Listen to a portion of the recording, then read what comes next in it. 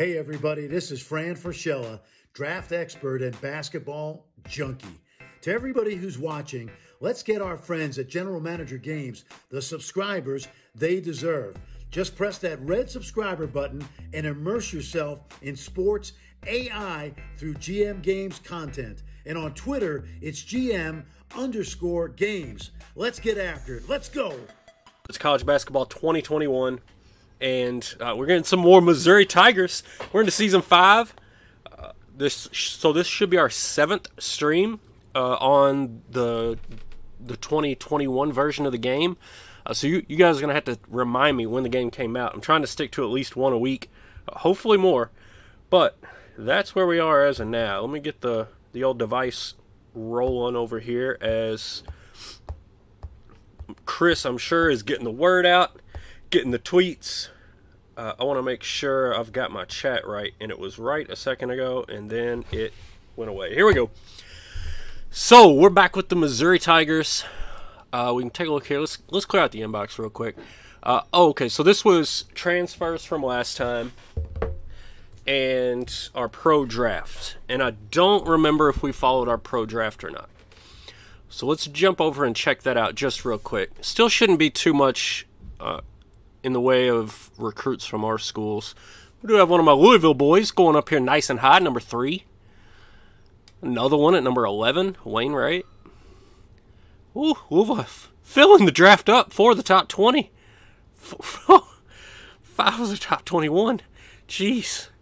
All right, let's see. I'm sure there's no Missouri in here. Uh, I'm going to guess there's no Bellarmine in here. So that's what's up, Chris. Glad to have you in chat, buddy. Uh, so that ends the possibility of any of our Bellarmine guys going pro. Figured it was a long shot, but you never know. They they could have gone late. I think they got some pro potential. Check that uh, check that G League out.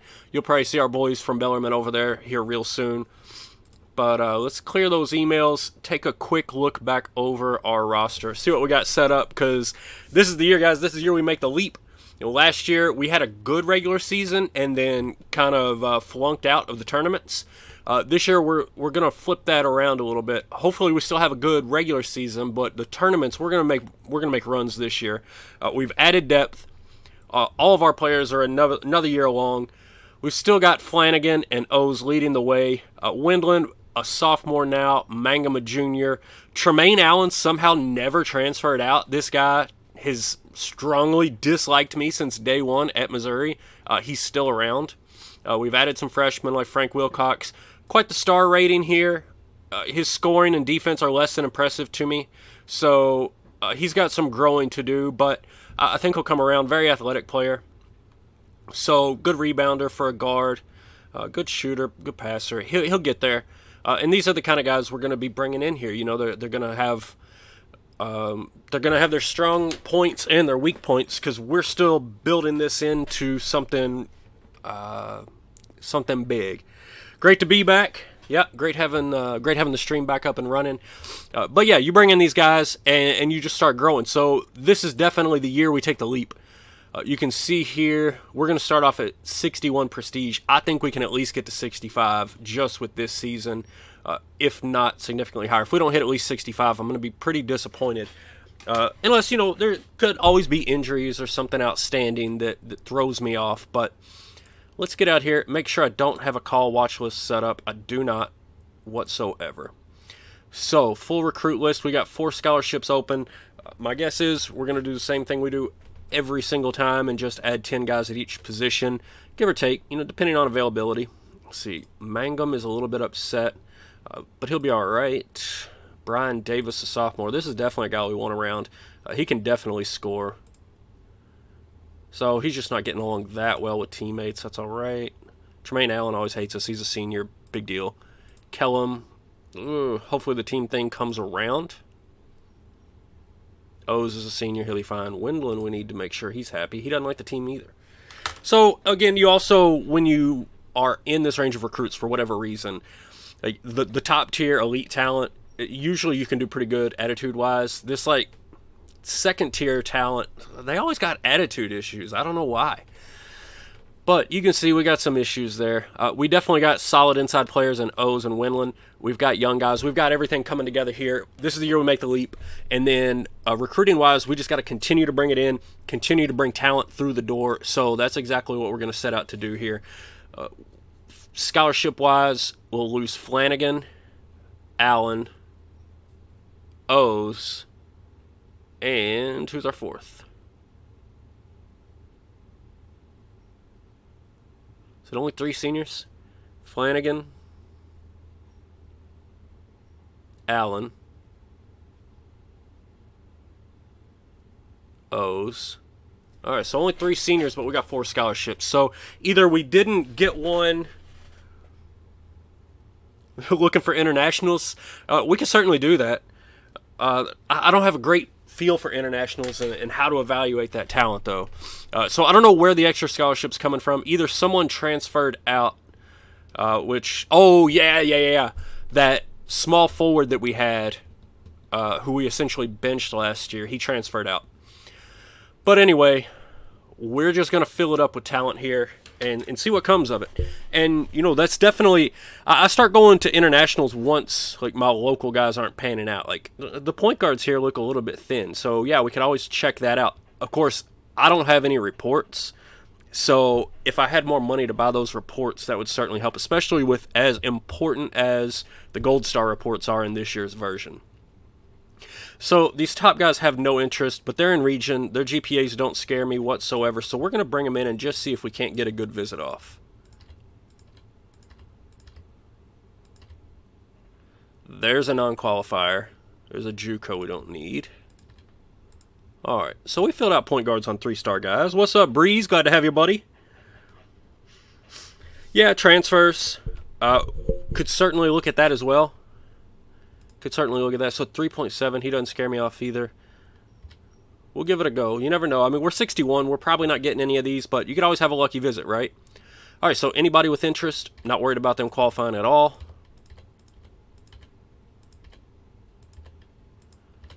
And we're filled out there.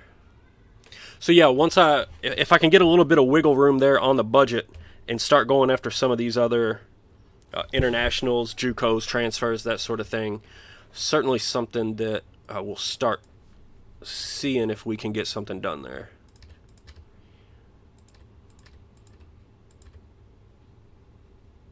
Just scanning. There's a lot of three-star guys here at small forward. Just seeing if any of them are in Missouri.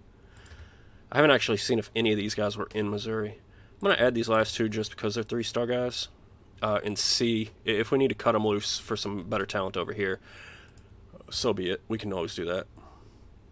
Now, this guy has no interest as a three-star guy in region with a 4.0. Well, we're going to add you anyway. Just see what happens. We're shaking it up. There's a non-qualifier.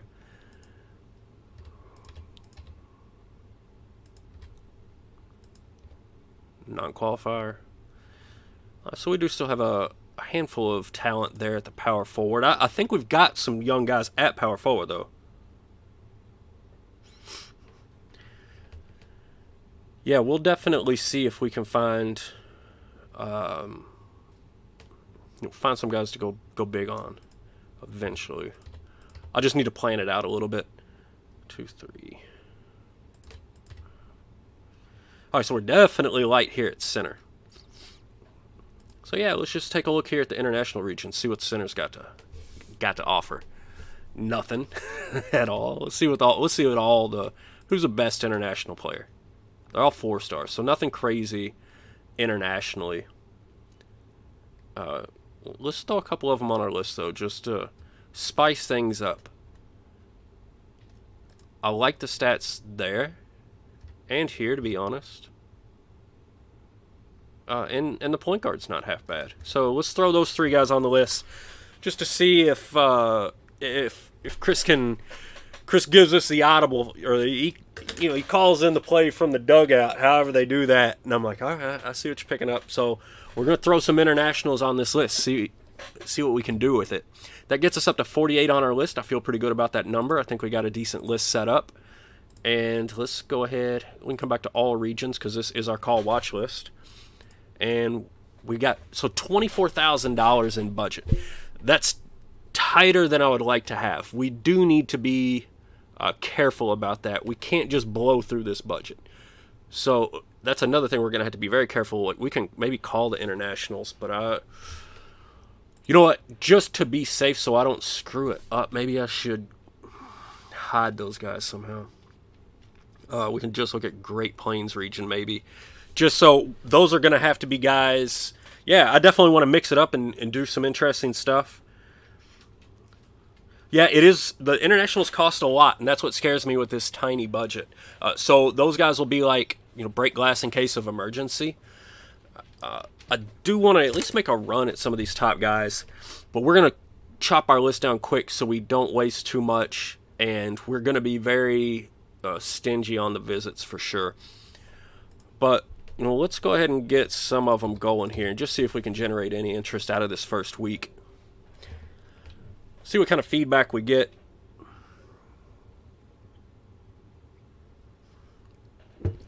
Still need to jump over and take a look, see if my coach has got any kind of decent progression, because that's off, also obviously going to have a big effect on. Um, it's going to have a big effect on how this goes. And look at this right off the bat. Two of these five star guys, they thought it was all right. This guy didn't care for it, so we can bounce him right off of that list. But we got a we got a little bit of interest for some really talented players. Daryl Thompson says the streams have been helpful getting you rolling with Dayton, man. I always wanted to get a save going with Dayton. Love the Flyers. Been up to that arena quite a few times for some tournament games. Looking at a Final Four run. Nice. Ooh, good luck with the Flyers. Hey, I it's a I've considered taking. If you're watching the stream, surely you know about the CBGM. Uh, I'm thinking about taking some more teams over there, and Dayton definitely crossed my mind. I wanted to get a little bit further away from Kentucky, but I think Dayton's a really cool school. Uh, the really cool arena, the big like. Uh, it's hard to explain how that arena looks if you haven't seen it. It's like that ride at Kings Island, like that boat that did like that. That's what the roof is shaped like, the arc on that boat, and the whole arena just sits down below it. Uh, the roof's like a big U, so but it, like a real elongated one. So good luck, and uh, appreciate the kind words. So we can take a look at this feedback, but really we want to see the camps Cool visit. Appreciate it. Keith didn't care for it. All right, so Ress and Gray are some pretty nice prospects. All right, so here go national camps. And we got a handful of recruits at this one. So of course, Randolph, the one that told us to take a hike, he's actually in the top five in the nation. So interesting to see. Let's see how these other ones. So decent, not spectacular. You know, that's still all right though, especially in this ranking. He's right around that cutoff where like maybe he stays around for a few years. And it says he's a hardworking kid. So while he might come in with a little bit low initial rating for a guy that you know it shows up as a five star. You know, his his initial rating might be a little bit low. He might show up as a two two and a half star guy, but he's going to have a high ceiling and he's a hard worker, so he's going to reach that ceiling. Uh, definitely a guy that we want to take a look at. So let's check out Gray. Uh, now a little bit different here. He had the same kind of performance, uh, but they're they're saying he, he could work a little bit harder. He might not reach that potential, and he's also higher rated, so uh, the likelihood of him leaving early just increases. But uh, would still be a, a useful player for us.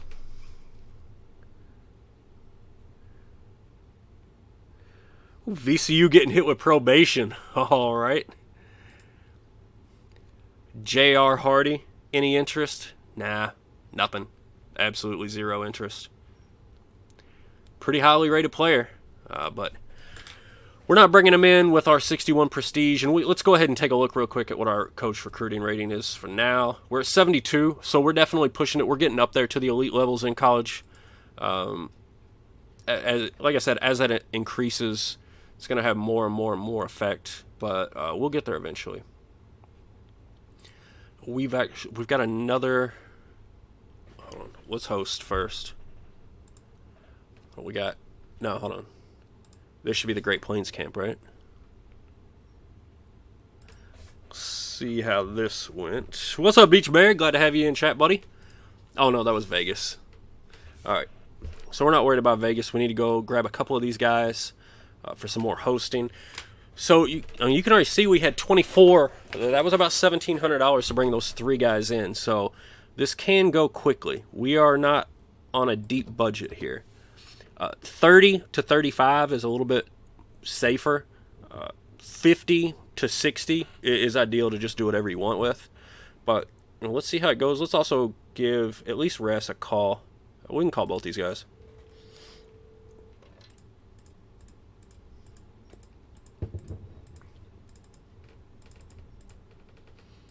All right, 25%. So he actually answered every question we asked.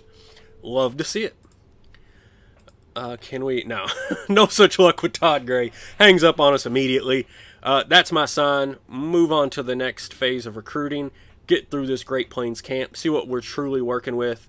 Start whittling down this list straight away because we don't even want to host players uh, if they don't have, uh, you know, if they look like trash in camp.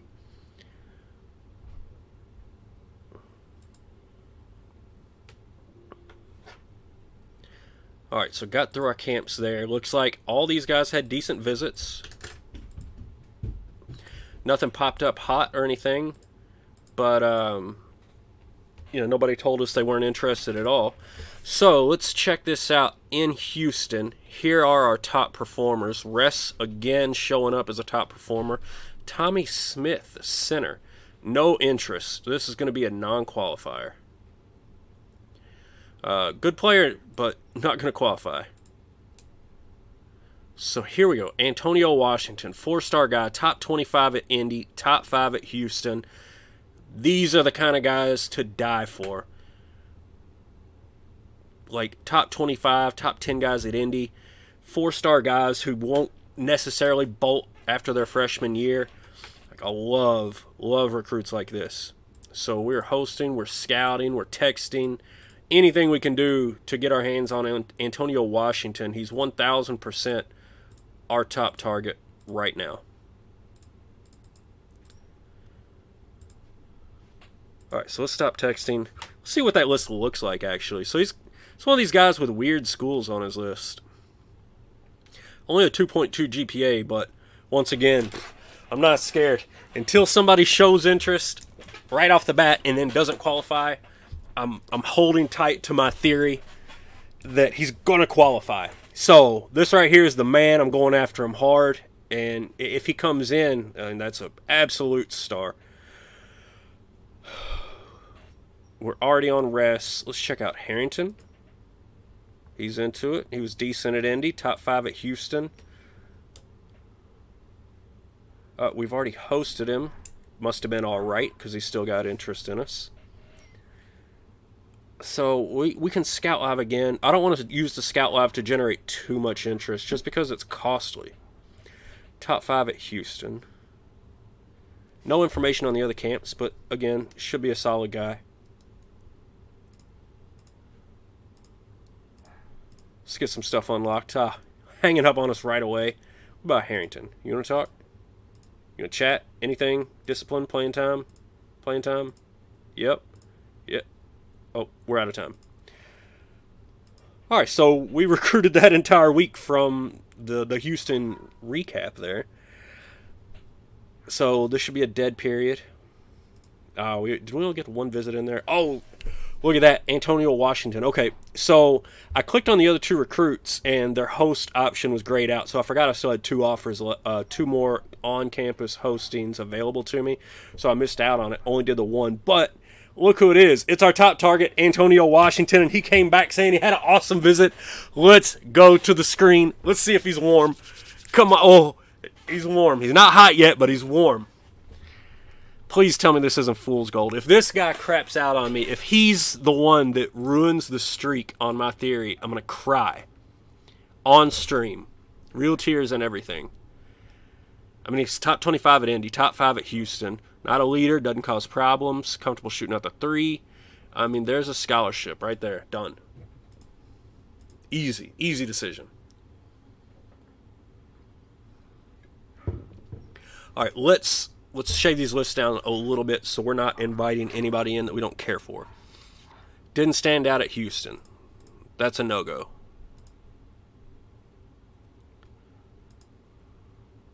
Didn't stand out at Houston. Didn't stand out at Indy. Right, not great, but let's see what we've got. Hard-working kid, okay. Sometimes you got to take those guys.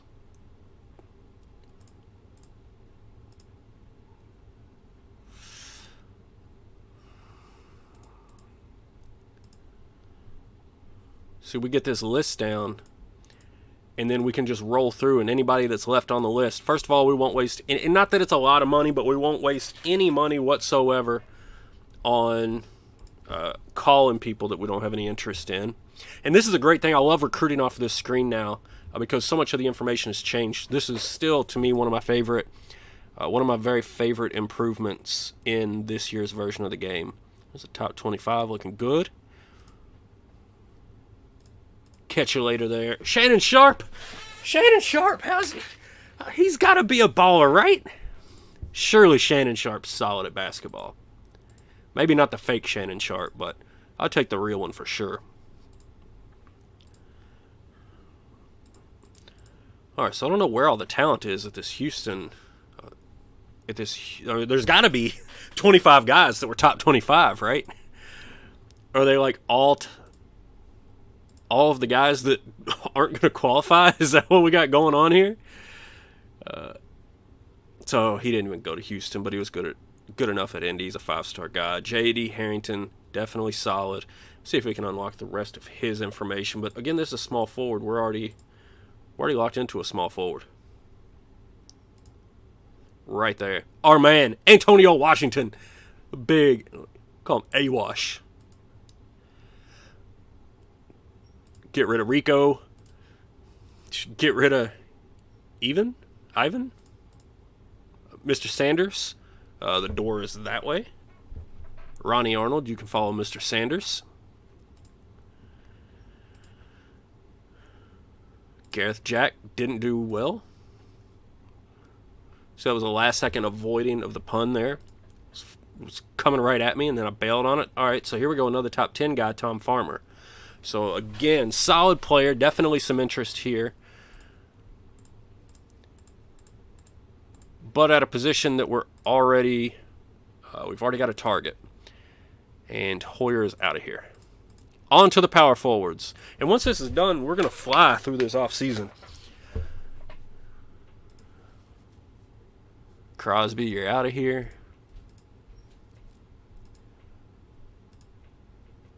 We go on Davis, top 25. We definitely want to try to prioritize these guys that were top 25s. Top 10s also, Lou Morris looking good.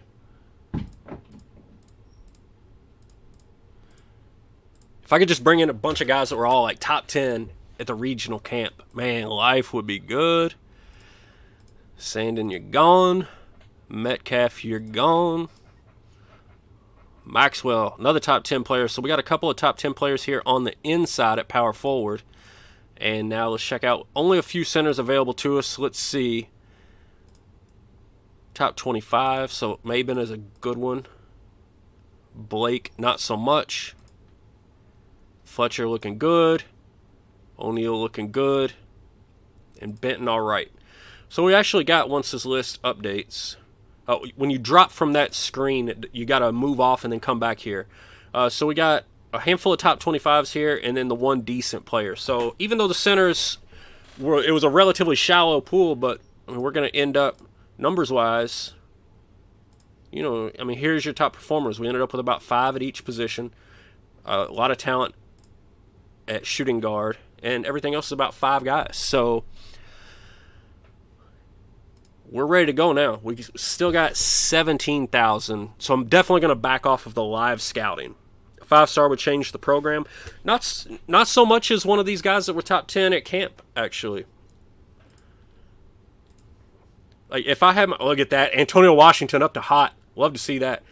So uh, would Todd Gray be great? Well, he was decent at Indy and he didn't go to a regional camp.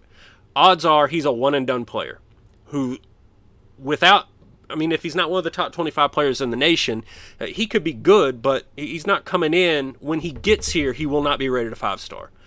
Um, you know, he'll be rated like a three star or something with five star potential, and then he's gone after a year. So how impactful is that? Antonio Washington is a four star guy, was in the top 25 at Indy. So already right off the bat, he's more developed than Gray. He was at the top five at Houston, and he's a four star guy rated in the 50s in the nation. He's very, very unlikely to go pro early. So we're getting essentially a guy that outperformed Gray at camps, and we're getting him for four years instead of one. Uh, Antonio Washington, a player like this, changes the program far more than a guy like Todd Gray in my opinion. Assuming that he qualifies, because that's not a guarantee right now. Maybe he knows Robert Morris, the guy that beat Kentucky. Oh man, I still remember after the game when Robert Morris beat Kentucky, and that's got to be 10 years ago now. I had a buddy that's a big Kentucky fan. I was like, "Hey man, would you check out my buddy's resume? He's uh he's a real talented guy, needs a job." I sent him the Robert Morris like RPI record, wins on the road, all that stuff. Uh, I had fun with it. He wasn't as he didn't think it was as funny as I did. But uh, anyway, let's bounce over here. We had a couple of top ten guys. Was it Morris? Was one of them right? Top ten player at Houston, yes. Top ten at Houston. So Maxwell is also solid. Davis is top twenty-five. Back to Morris. Uh, let's. Oops. Decent. No. Decent. Decent. Top 25. All right, we'll host him. And let's see, do we have all of this unlocked yet? Well, let's unlock the information. Let's unlock it for him as well. All right, all good. All right, keeping an eye on the budget. Guys, in chat, please do not let me forget about the budget. So see, we're using like 15, 1700 a week still. It's, it's iffy.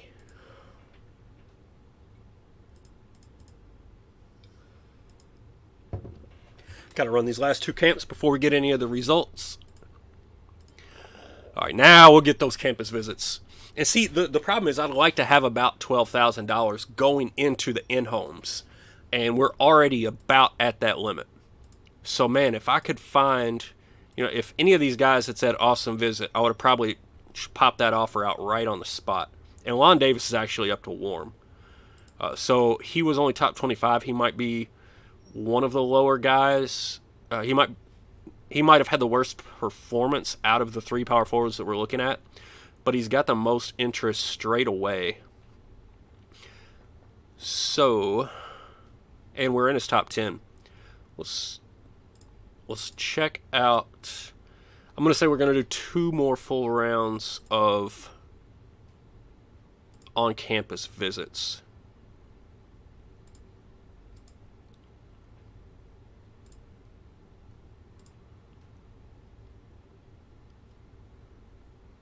Ooh, that's a nice cheap one. 125 bucks. So always nice when they're in uh, in state, right? That's what I ought to be using all that live scouting on when it's available. Is these in-state guys? Let's back over and make sure that we've got uh, Lon Davis. We need to get categories unlocked. Talk to me, my man. Talk to me. There's got to be something you want to talk about. I'll keep texting. God, hung up on me. All right. Carson with the 4.0 GPA, does he? Jason Carson, 4.0. Looking solid, my man. Hitting those books. That's what we need at Missouri. Guys, I don't know how long I go tonight. Uh, you know, I like to get you through at least one full season when I can. Uh, I've been gone for a while, feeling pretty pumped. A couple of the kids are at my parents. It might go long, you never know. Might go short, never know. I guess chaos could erupt upstairs with only one kid home, but uh, I'm hoping that it doesn't see how this went. Cool. Didn't think it was worthwhile from Fletcher. Appreciated it. Eh.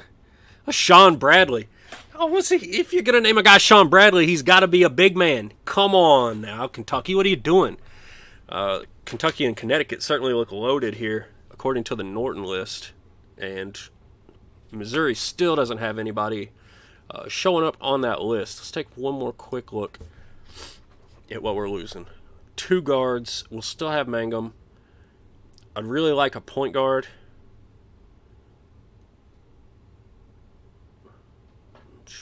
Okay, I definitely need a point guard. Sophomore, freshman.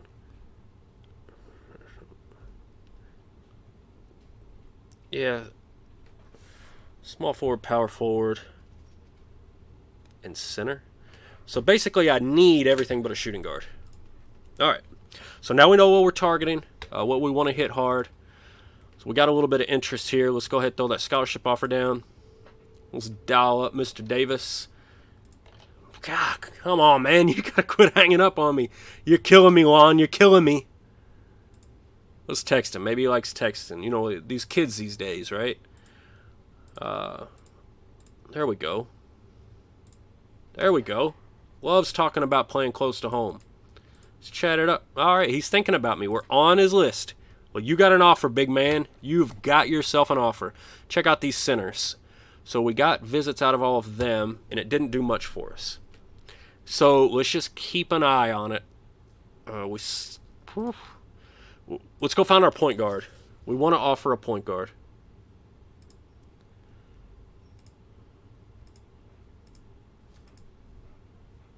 All right, so Brian Bradley by far the best option at point guard.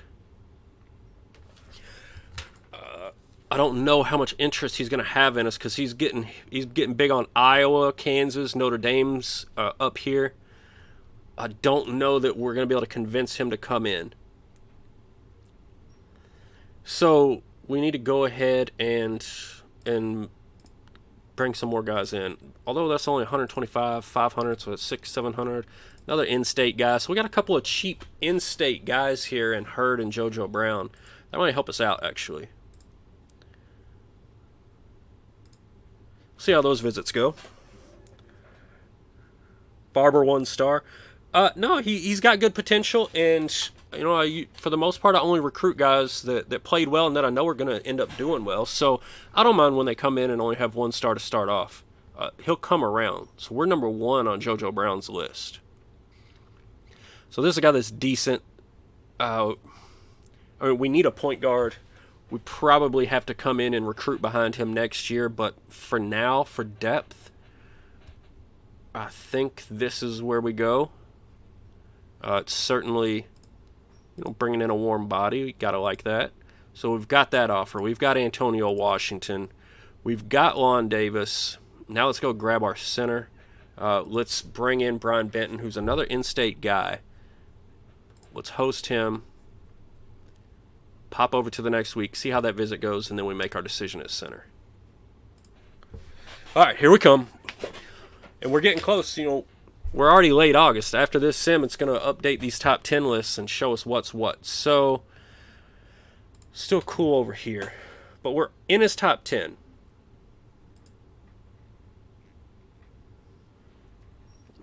Fletcher, not so much. It He actually has no interest.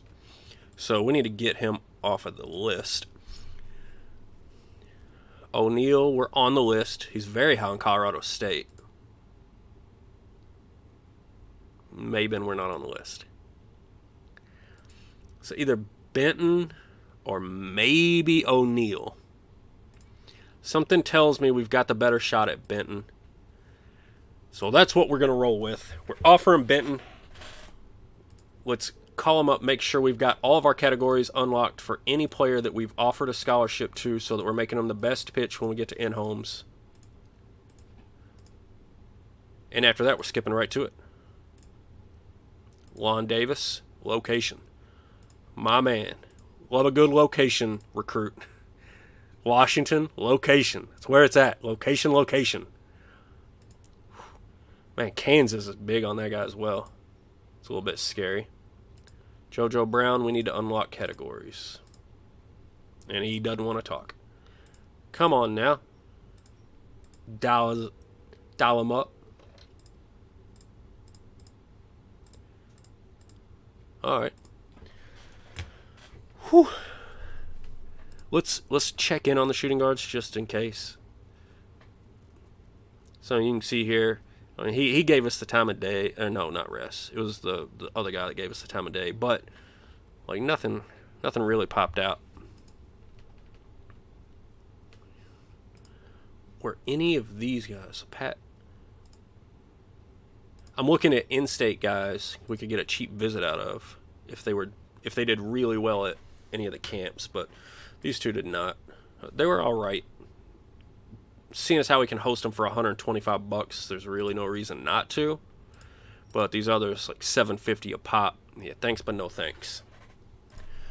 All right, so let's sim through a couple more weeks and see what we can do with these in-home uh, in-home visits. See if we can get these guys committed, and then we'll get rolling with this season. Look at that, popped off all kinds of big interest over here out of Burleston, mm, and that's a guy who was decent. So again, uh, not somebody I'm crazy about, uh, but he seems to be crazy about us. So it's a very good option if we need to fall back on it. The thing is, we're pretty loaded at shooting guard right now. So our offers are out. I don't have any reason to slow down through here. We're, we still got $11,000, which is about where I like to be budget wise. So I feel good. Once we get to in homes, we can do whatever we like. We can change our strategy however we like. And that's just enough money if we do happen to strike out. You know, we can limp along through in season recruiting if we choose to do that. Um, but either way, we can run through our budget and ask for a budget increase at the end of the year. So we're actually very well situated here budget wise. This is exactly where I'd like to be at this time. All right, so let's get it. See if anybody commits without letting us in the door. I don't think that'll be the case. Although I do, I do worry about my man Awash. No, no, no. they're all gonna let us talk. You can't let me in the door, baby. You can't let me in the door. I'm up to seven, 75, 77 recruiting. What was it? Can't let me come in the door. A&M, Nebraska, Creighton. Y'all messed up. He's a home. He's a home state guy. He loves location.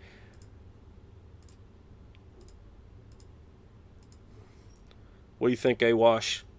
Oh, hot on a lot of schools. He's out of Colorado, but he loves the location as well. So that's what we're going to give him. And uh, just hope we give it to him better than anybody else does. Davis, we're up there on his list. He's another location guy, as they pretty much all are at this point.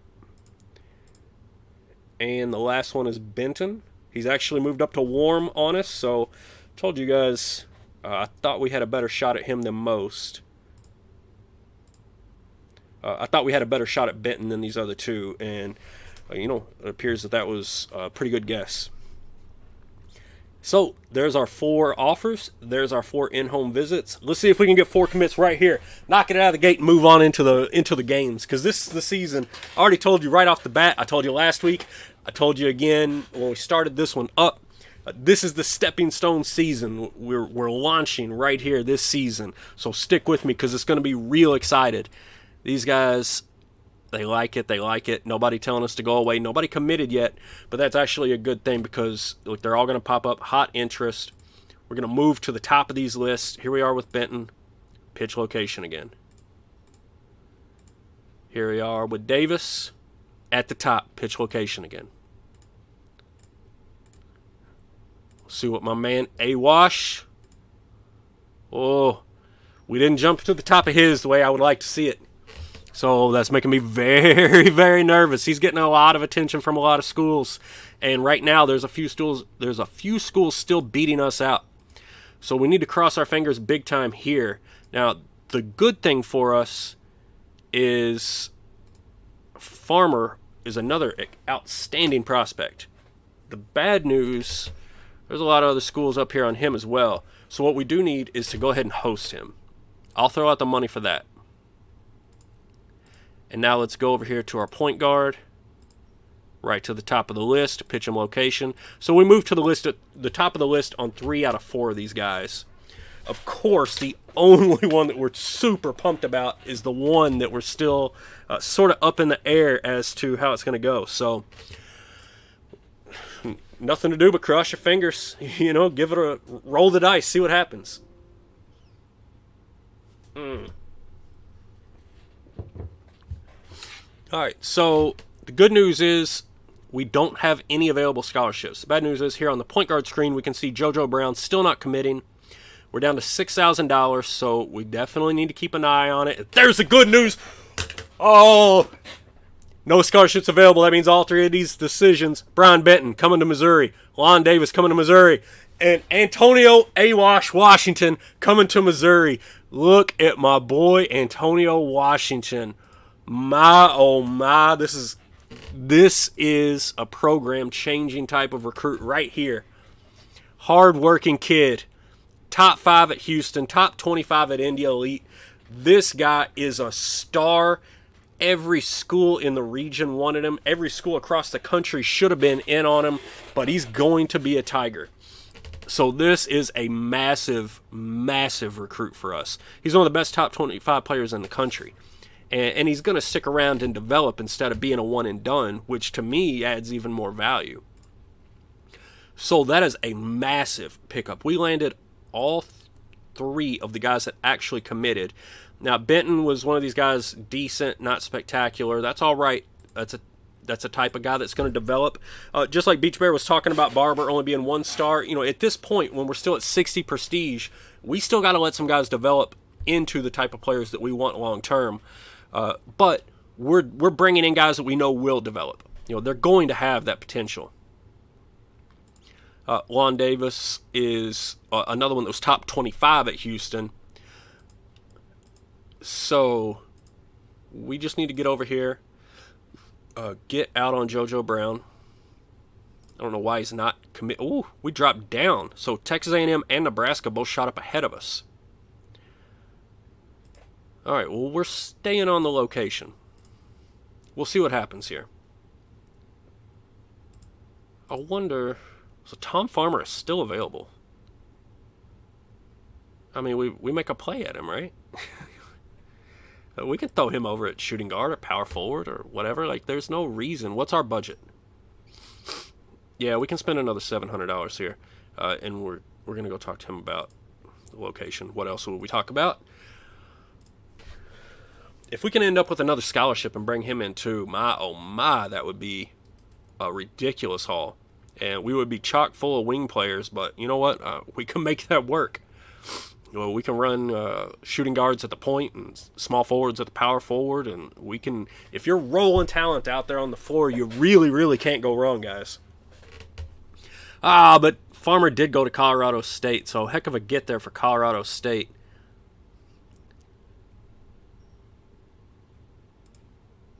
And still no decision from JoJo Brown. Very interesting. He's letting this really play out, isn't he? Alright, so we're still in the mix here.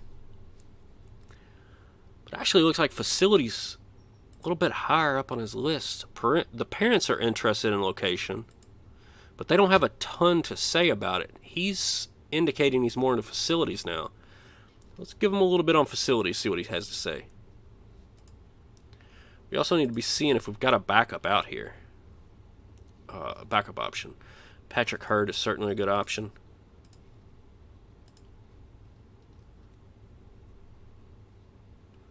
Hmm. Close enough.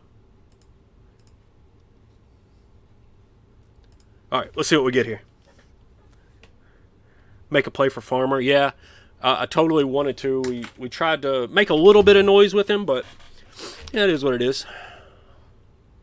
If we land JoJo here, we land all four of our top prospects. Here's the decision. He's going to A&M. So we're still in need of a point guard. So it did not work out the way we wanted it. But we do still have Patrick Hurd. That's why that's why we have backup plans, folks. So we shoot out the scholarship offer to Hurd we are now second on his list. So ideally, you know, the, the local guy comes through here. So we'll see. We're still in the mix. Shooting guards. We still got a couple of shooting guards here. Rosser, decent at Houston. Burleson was he also decent at Houston. So, you know, we got other options at shooting guard. We really need a point guard because we're we're losing Flanagan. Magnum's a junior, and that's really all that we have as far as scholarship point guards go. Uh, but we'll see what happens here. At this point, the contact period is over, so it's just forwarding it until we see if we can get a decision. If we can get a good decision here uh, from the, the offer that we have out, That would be awesome. Let's take a quick look while we're here at strategy, see what we're doing. We'll just run in high post shuffle, 60% offensive uh, set usage. Obviously, Allen, Flanagan, and O's are all over these sets. Uh, they definitely have got the experience with it. Winland's getting there, and he'll continue to get there. Davis will continue to get there. Uh, Mangum as well as we move through these practice sessions here. Yeah, A&M stole that one from us, which sucks, but you know, we'll deal with it. That's all right.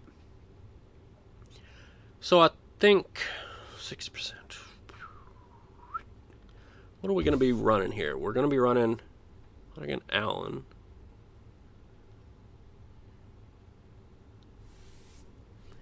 Yeah, I like I like that setup.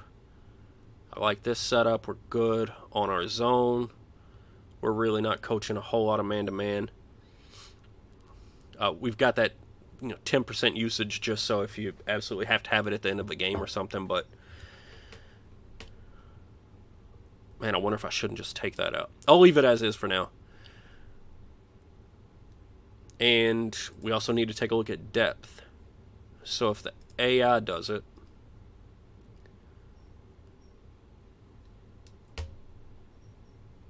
uh, do I like that?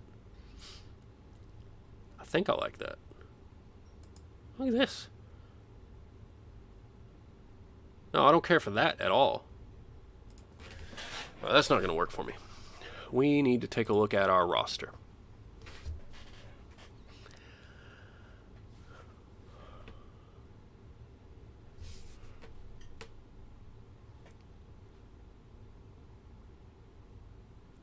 So what I'm looking at here is, you know, the the scoring rating obviously is always uh, extremely important, along with defense, in my opinion, another very important one.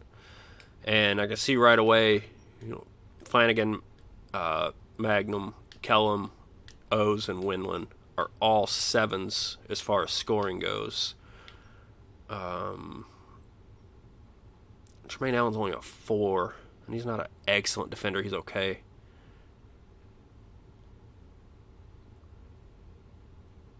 O's Wendland. King and Battier are all right. So what I'm actually thinking here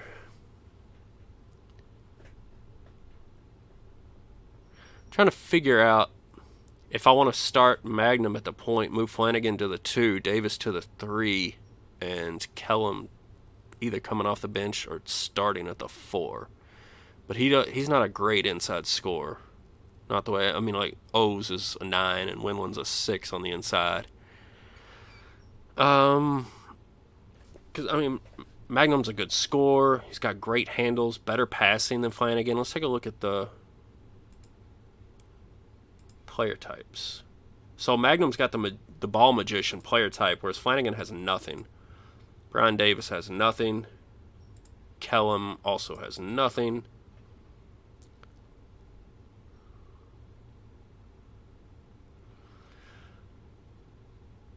So it's a it's a problem because these two power forwards, neither one of them are great, right? How big is Kellum though? Mean, six six, okay. Not a great rebounder, kind of defensive. But if we ran like that, we would not have a whole lot of depth at the guard position. We could let Allen back up both guard spots. Huh.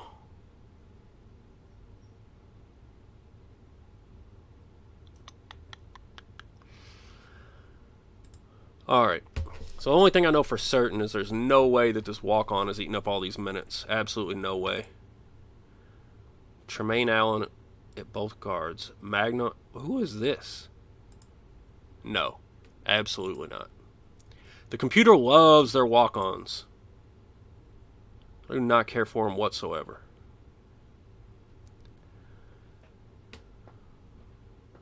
So we've got the starters, we've got Mangum and Allen, and then we need to decide on a power forward. And I really don't want it to be this walk on loser.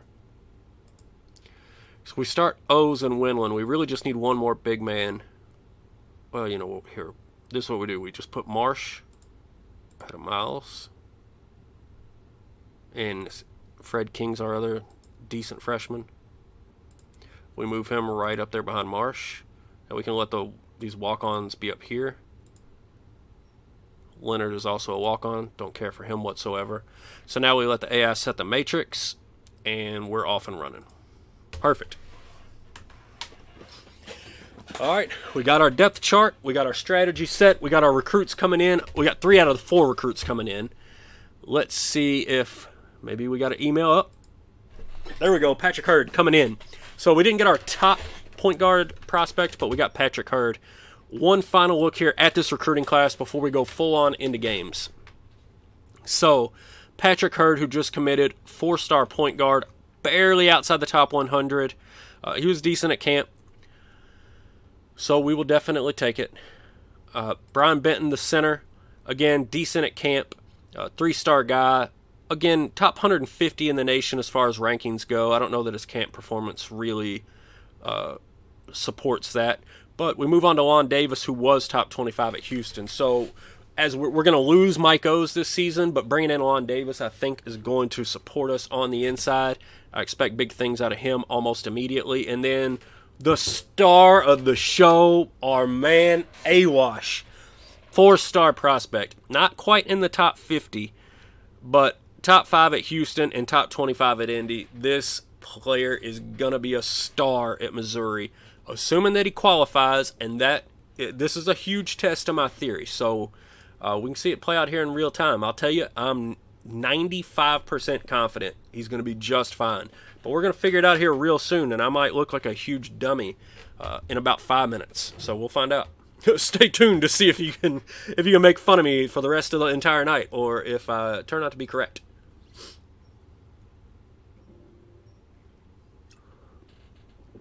Uh, so, getting that practice in, getting these young guys up to speed, uh, let that depth build up, get them a little bit of experience, gives them the edge on these various sets. But we're into and we're into November now, so red shirt reminder, and this actually is a team that I should probably consider uh, whether or not I want to red shirt any players. Uh, like Barber could certainly be a consideration, uh, as could Wilcox, maybe. I'm not crazy about his scoring or defensive ratings, and I do think he could develop quite nicely. Not worried about playing time. Because uh, obviously, you know, Davis and Allen are, are getting the bulk of our time here. So Wilcox as a redshirt isn't a terrible idea. Uh, not enough depth at small forward or power forward or center for that matter. Uh, not enough depth anywhere else to consider any red shirts. Now, do we do we red shirt Barber or Wilcox? Either or both.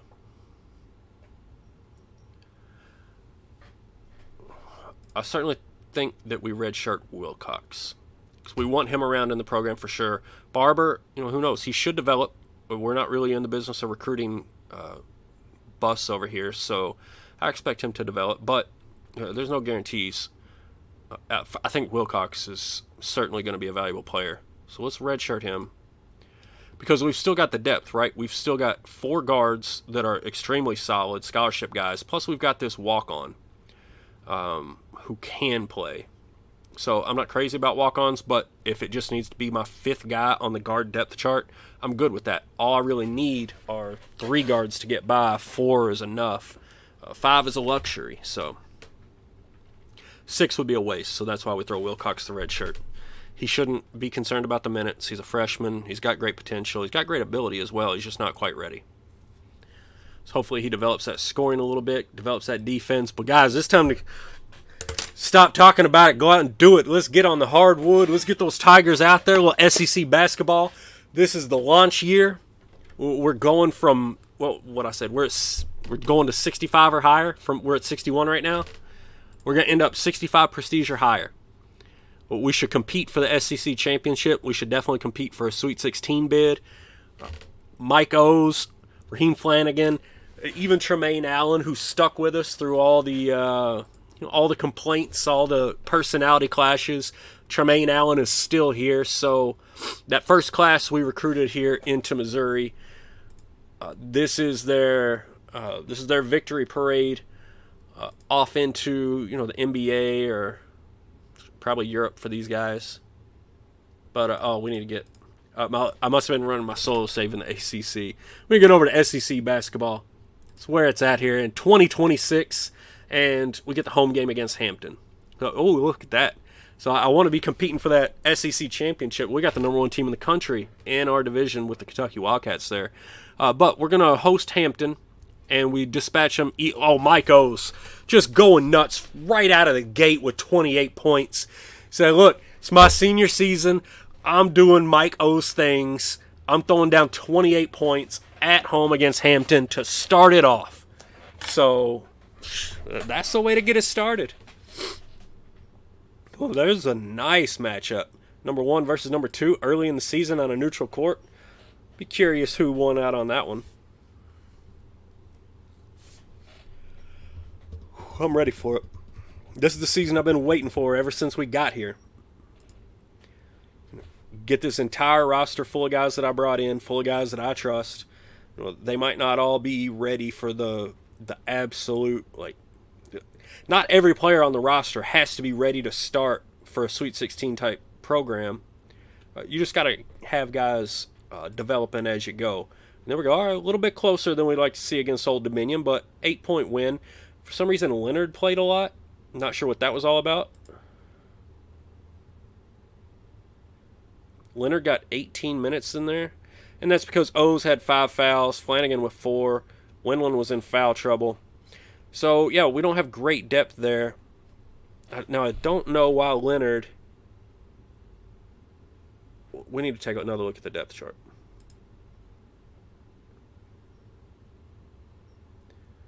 All right, Kellum Sorback, that's fine. I mean, Leonard's behind Marsh and Smith, and neither of them are designated to play any minutes at center. So that is definitely the reason. Cordell Smith six seven, Marsh six seven. Because Leonard is just he can't play defense, he can't score. He's a decent rebounder and inside shooter. But uh and we got Smith playing all the minutes here at the power forward and the small forward. Let's see. Marsh, see, at least he can play better defense, score better. The inside shooting isn't quite there, but I trust a guy like Marsh far more than a guy like Leonard. So let's get Marsh squared away to play some center and then let the AI rework this matrix. Uh, so hopefully that squares that one away. Oh, what's up? CTG just subscribed. Love to see it. Appreciate it. Chris is off to move the CBGM. So we're going to get a CBGM update coming out here shortly. You guys definitely stick around. If anybody's checking that out while I'm live, feel free to mock me in chat. Good with that. So yeah, hopefully that solves the problem of us playing a walk-on center that many minutes because that's just silliness. Uh, we've got power forwards to do that. Although they're young, still developing, uh, I just don't need any of that. Look at that. Look at that. Uh, the man tells you, I tell you, I got a plan, I got a theory, and it works out over and over. AWASH, 2.2 GPA, signed his LOI, he's good to go. Everybody's signed, everybody's qualified. We're rolling, baby. Oh, not only this year, like that's the thing, this snowball's so hard. So this year, I think we're gonna have a big season. So we're gonna make a huge jump. Excuse me. I was on the road for like eight hours today, so uh CTG watching master. Let's see who is it that you're watching on your uh, second monitor while you're watching me over here. But anyway, it, it snowballs so hard, right? We're at 61 now. We're I figure we're jumping to at least 65, maybe high 60s by the end of this stream. Then we bring in Awash. You know, we put him in with everybody else we've recruited, the Brian Davises, the Linlands, the Magnums. I mean, it it's gonna go nuts, guys. So now we're headed on the road to USC. So let's see how this goes. I'm interested to see how we play away from home. USC's one and one so far. They have dropped a home game. We'll see if we can make it two. Not quite. So we fall by seven. Sorry, we didn't get huge games out of anybody on the road there. So, uh, so we're not an elite team. No shock. Never thought that we were elite. I do think we're competing for an SEC title. I do think we're competing for a Sweet 16. Um, I certainly don't think we're a national championship Final Four type of team. But this is this is definitely the year we're going to go off. We're going to make noise big time. Big time. Coming back home for a game against the Red Hawks of Miami, Ohio.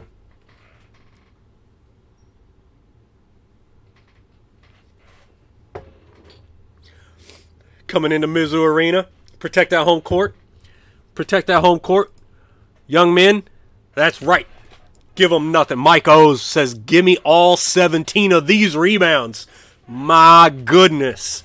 Mike O's with the early season domination, leading the charge for your Missouri Tigers. Man, it's good to see when they just come into their own, right? A guy that you knew was going to be good. He just develops, does it over the course of a few years. Now he's a senior, and now he's just there's just pure domination out of Mike O's at this point.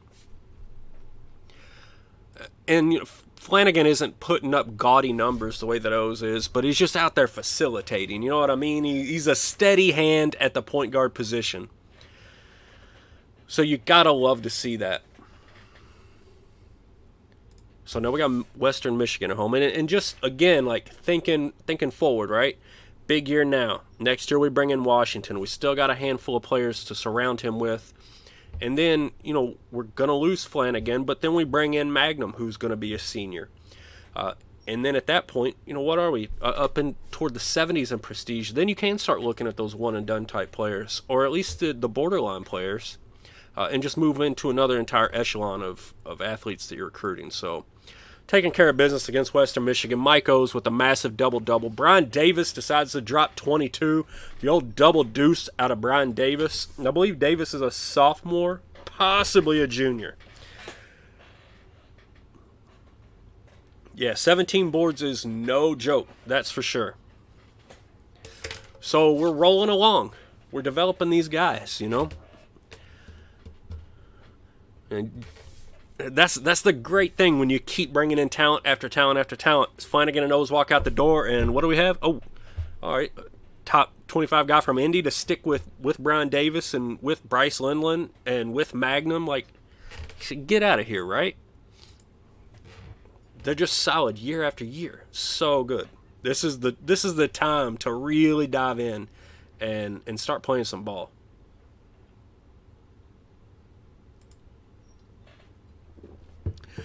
All right, the Vermont Catamounts. Yeah, the Catamounts want to come into Mizzou Arena. Let's see what we got. See if old Mike O's got something for him. Oh, that he does. The whole team's got something for him. 101 to 73. The whole team had something for him. All those walk-ons that I buried on the depth chart, they're dropping 20 points out there. My goodness. Can't that that team, 0 and 5 and getting drubbed by 30. Yikes. Looks like a tough uh, road to hoe there for the Vermont Catamounts here in the 2026 2027 season. Still need somebody to see when this came out and see if I'm on a once a week pace. So I'd like to, if we can't maintain at least once a week, if not, maybe try to push it a little harder than that even. I'd love to have, you know, 50 seasons into this uh, by the time the next version of this game comes out. So we just got to see. It can't be mid April. The Denver Pioneers. All right. 0 2 on the road so far this season. Nothing changing. Mike O's with double doubles. Brian Davis there with the scoring load. And Raheem Flanagan uh, just being the glue man that holds the team together. And you just keep chugging along. Yes, it's bad teams at home, uh, but I got news for you. We play in the SEC. There's going to be a lot of average and bad teams at home. Uh, so you take care of those games. you you try to steal a few on the road here and there, especially if you're playing a bad team on the road. At, at this point, you need to start beating bad road teams, and uh, you should probably steal a win here and there against a, an average road team. I don't expect to be competing with Kentucky on the road, or let's see, what's this? This is Illinois at our place. Yeah, this is going to be home against Illinois. It looks like a really good Illinois squad. So this will be a nice test early in the year. I think this should probably be a very, very close game. And I actually, I, don't know what Illinois' roster looks like. So obviously, we've got players that I really like and players that have developed really well for us over a number of years. We don't really have any superstars or anything. Here's Tremaine Allen. He still hates me. What's new? Just got to bounce over and check those emails every now and then to make sure that you don't have like player relationship stuff going on in the locker room where they hate each other because at that point like you got to kick one of them off or else you're going to lose them to transfer so got to know which of your players hate the other ones. But uh you know this is going to be a big early season matchup. It, we don't have any superstars. I don't know whether illinois does or not. Oh louisville's getting dropped might need a, might need a new coach there in louisville after this season. You never know. I don't know who it might be. Oh, I don't know who who could do that, but uh, before we get there, before we get there, let's see what we can do against this Illinois team. This will be a real good indicator of you know, how close we are. If we lose this game by double digits, I'll I'll be really brokenhearted. I think this should be a pretty close game, and I actually think that if we're what I hope we are, we win right here, baby. Mizzou over the Illini by 11 points. Brian Davis for 23. Raheem Flanagan throwing it down. That's what I'm talking about. Number 12, number 14, whatever they were, comes into your house. You send them packing. 11 point victory at home. So that's exactly what I meant. Those are ex- this is exactly where I thought we were. All right, uh, unless Illinois is a huge pretender, this is exactly where I thought we were.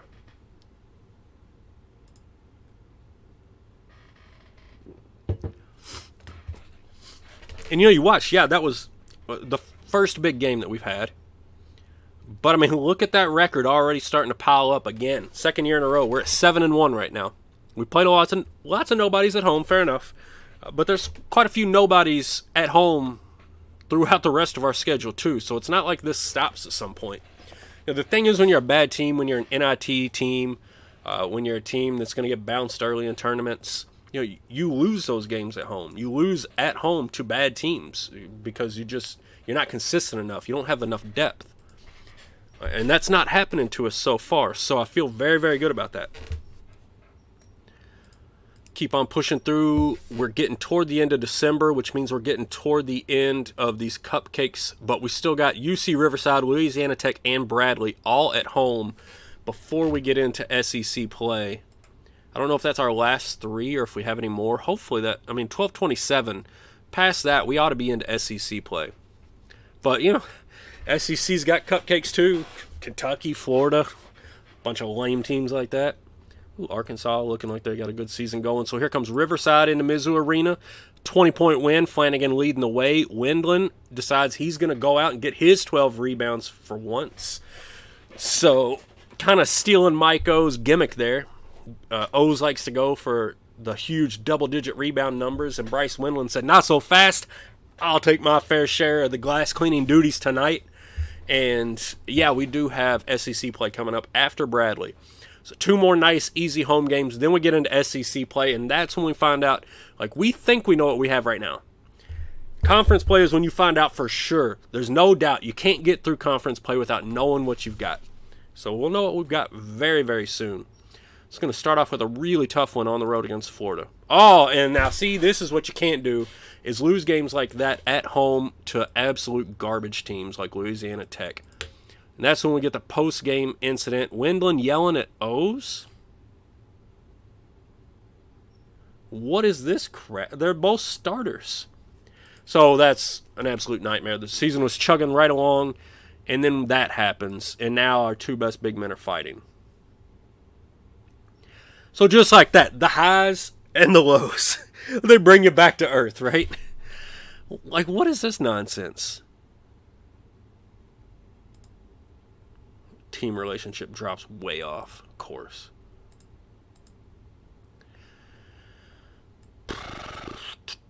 Well, I mean, we there's just nothing to be done about that except for cross our fingers Wendland doesn't transfer out, which is a very real threat at this point. I mean, his team relationship's god awful.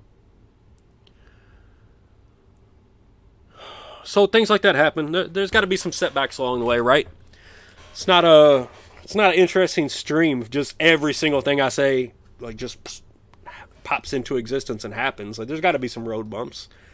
Um, I didn't expect Louisiana Tech at home to be a road bump, but uh, I guess you know if O's and Wendland want to uh, just fight each other on the court, uh, that'll make any game tough. All right, let's turn that around, folks. No more of that. No more of that nonsense. And that's a such a bad loss. Louisiana Tech. Curious what their like net or whatever is. CBGM updated. Glad to hear it. Welcome welcome back. We just took a devastating loss at home to Louisiana Tech and O's and Wendland started fighting each other, and of course that was like one game after we beat Illinois at home by 11. So we're uh, we're staggered, but we're still on two feet. Get back up against Bradley. O's does it again with 27. So he reestablishes himself there. Uh, so yeah, we we took a big shot.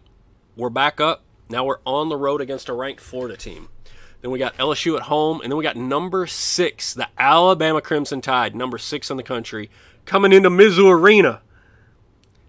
Uh, I, I, I still got good feelings. You know, you, you're going to lose here and there. We shouldn't have lost that one, but I'll take it. Sometimes there's just mysterious things happen, right? It's not fun if you win all the time. There's got to be the threat of losing. I'm ready to go down into down into Gainesville, see what we can do against these Gators. still pumped up for the rest of this season. That's I mean nine and two in the out of conference. That's not too shabby.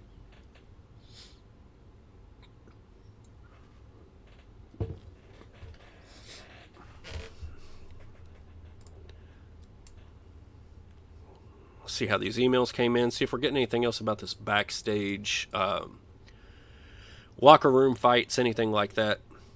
Keep an eye out for it. See if we need to talk to one of them or suspend one of them. You know, I'm not beyond suspending one of them.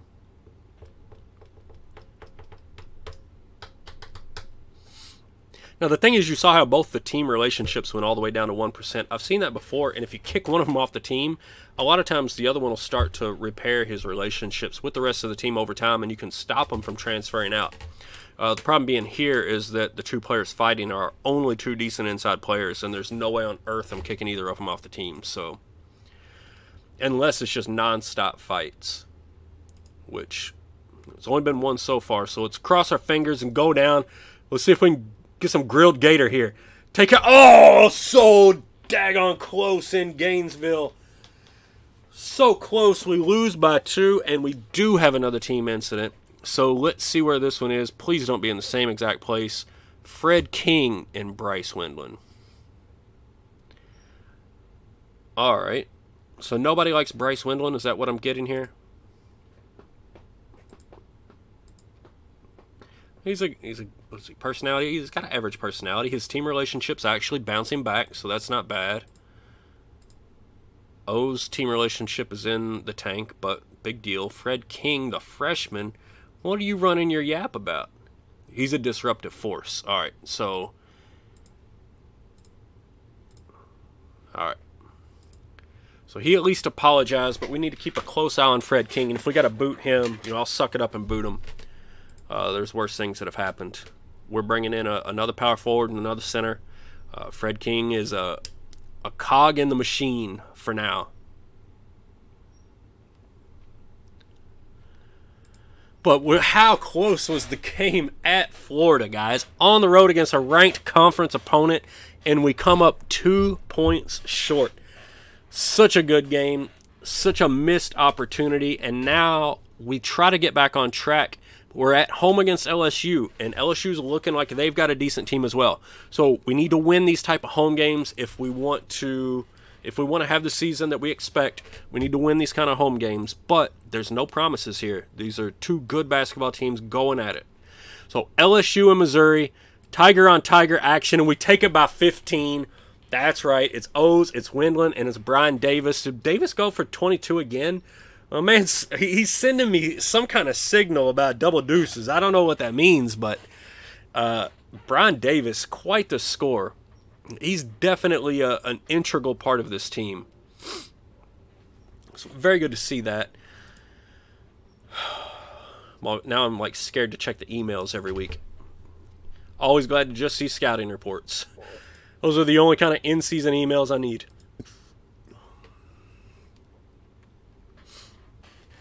And I don't I still don't know what to be more excited about. This how ridiculous this season is going to be or like AWOS. That's definite program changer. You love to have those kind of guys waiting in the wings. Absolutely gotta love having it. Uh, so now we get the big, big game at home. Number 10 in the country, the 12 and 4 Crimson Tide. They think they're going to come in here and push us around, but we got something for them. We've been waiting. We've been waiting to jump up on somebody like this, and oh, we had it set and we failed. And of course, every time we got to lose, somebody's got to yell at somebody else. So what do we have this time? Mike Wendland and Mike O's again. Unreal. Like these two guys just don't care for each other.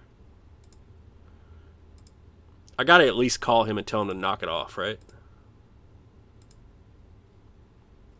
Alright, so I went straight to that second option and he at least apologized, so I mean I don't know what else to do here.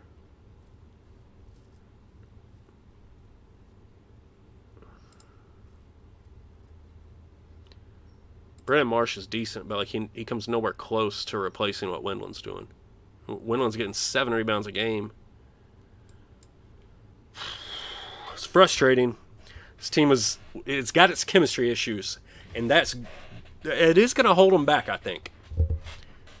You can see the cracks starting to show.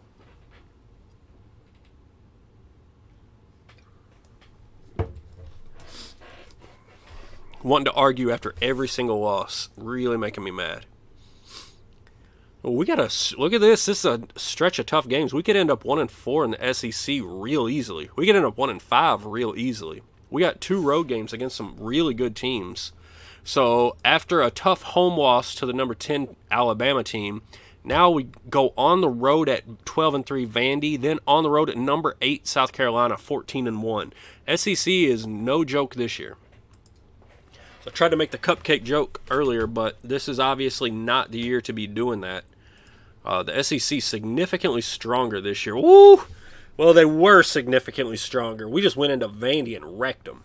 So I don't know who Vandy played to get that big gaudy record that they had. But we just oh, what was that? Did y'all see that? Jamie Dixon's the head coach of Kentucky. I just now noticed that. So uh, no, again, no idea who Vandy beat up on to get that record, but they didn't deserve it. We walked into their court and smashed them by 20. So, pulls us back to even in the SEC. We definitely needed, you know, after the tough loss at home to Louisiana Tech, which was just dumb, then coming up just short at Florida, uh, coming up short at home against LSU, we definitely needed to pull off a road victory. That was a good one at Vandy. I don't know if we're going to be as lucky here headed into South Carolina. They're 15 and 1 on the year, 4 and 0 in SEC play. Uh, so this is definitely looking like an elite team right now. And, you know, we're just not that yet. We're not that yet. We're on the verge, we're on the cusp, not quite there. Lost by 10, and every time we lose, we've got to have an incident. So this team hates each other, and it's obvious that the chemistry's holding them back. Fred King about Bryce Wendland again.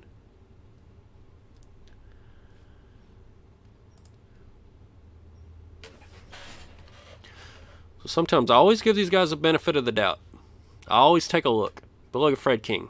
Can't score inside, can't score, can't rebound at all, can't play defense.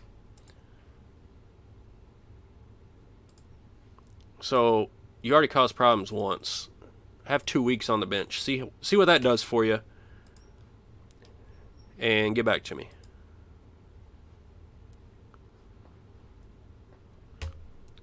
Of course, the computer wants to move these walk-on losers back ahead of my. Um, it did it again. Uh, just because I suspended the guy? Cannot stand when it moves all these walk-on guys back up ahead when I've already set this once on how I wanted it to be. Alright, so it's Magnum, Allen, Marsh.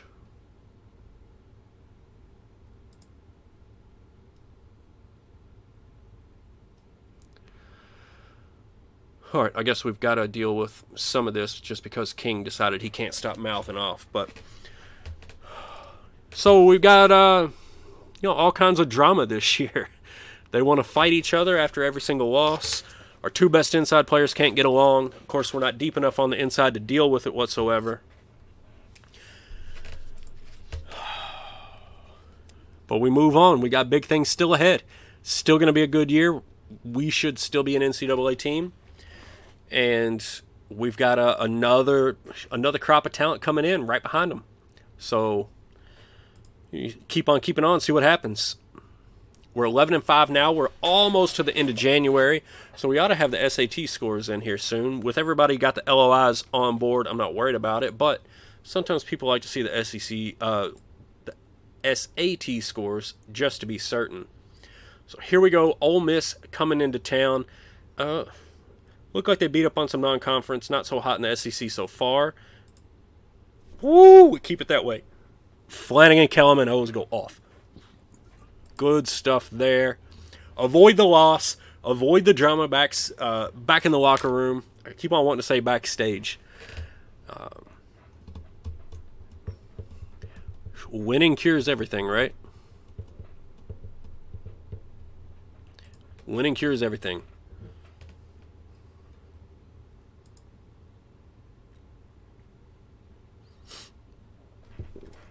So we're going to get on a neutral court in that SEC tournament and it's going to be on. I'm telling you, it's going to be uh, really exciting. So now we go to LSU. So LSU got us at home. Let's see if we can. Let's see if we can even it up. Go in there and steal one from them. It's not like they're they're not uh, you know world beaters or anything. They got us. Let's see if we can return the favor.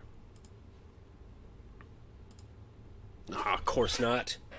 But the good news is we finally lost a game and didn't have a huge fight backstage. So I don't know if that's because we've suspended Fred King or exactly what's going on there. But uh, at least we didn't have that drama again. Now here we get Florida coming into to Mizzou Arena. See if we can take care of some more business.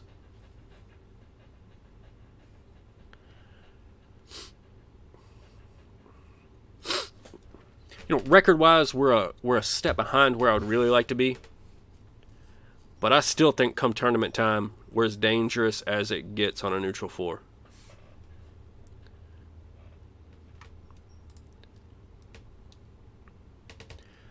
So let's see. We came close to knocking off Florida in Gainesville. And here at home, demolished them by 30. So that's what I'm talking about. We're dangerous.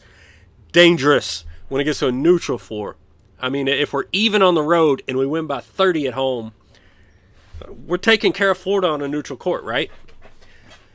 Getting close to the end of January, 13 and 6, still 500 in conference. Let's see if we can flip this around and uh, start moving up toward the top of these conference rankings. Really don't want to hang around at 500. I really want to be right there at the top. So let's see if we can go out and make it happen.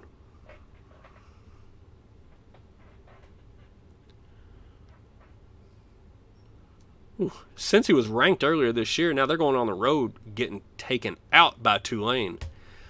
Eh, so Tennessee, you know, it's rare for me to see Tennessee ranked this highly, but Tennessee's ranked number three in the country right now, and now we got to go into Knoxville. So the SEC is it's just much deeper than it was last season. Facing a lot of good ranked teams here. Kentucky looking good, Tennessee looking good, Bama. Um, South Carolina already doing well. So Headed into Knoxville, see if we can come out with no. We got a beat down and another loss, another locker room incident. This has very much become a theme, and I'm completely over it. At this point, even I mean, as much as Mike O's is doing, and we need him to compete for the rest of the year, I'm ready for him to graduate and get rid of the tension with Wendland. If assuming that's who's arguing, if it's Fred King again, I'll just kick him off the team. Oh, Tremaine Allen and Brian Davis. The whole team hates each other, and that's what I'm telling you. At this weird, that weird level of recruiting we were at, all these guys are mouthy. You know, if we if we can get to the guys like Washington, uh, our man Awash, uh, those kind of guys are going to have much better attitudes. But these guys, like I don't know what it is about this second tier talent, but they all just hate each other.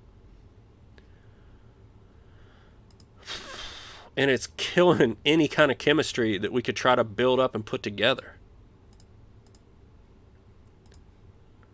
All right, so we can call up and yell at them. Not a whole lot else we can do. Keep our fingers crossed. You know, a handful of these guys are going to graduate. Uh, maybe that's a good thing, and you know, just hopefully that improves going forward. But Fred King's definitely very much on my radar. If he peeks his head up again, uh, he could very easily uh, find himself on the free agent list. Let's go check the depth chart though, because his his suspension may be close to over, and we do really need the depth. So if we don't have to get rid of him, I don't want to. All right, his suspension is over.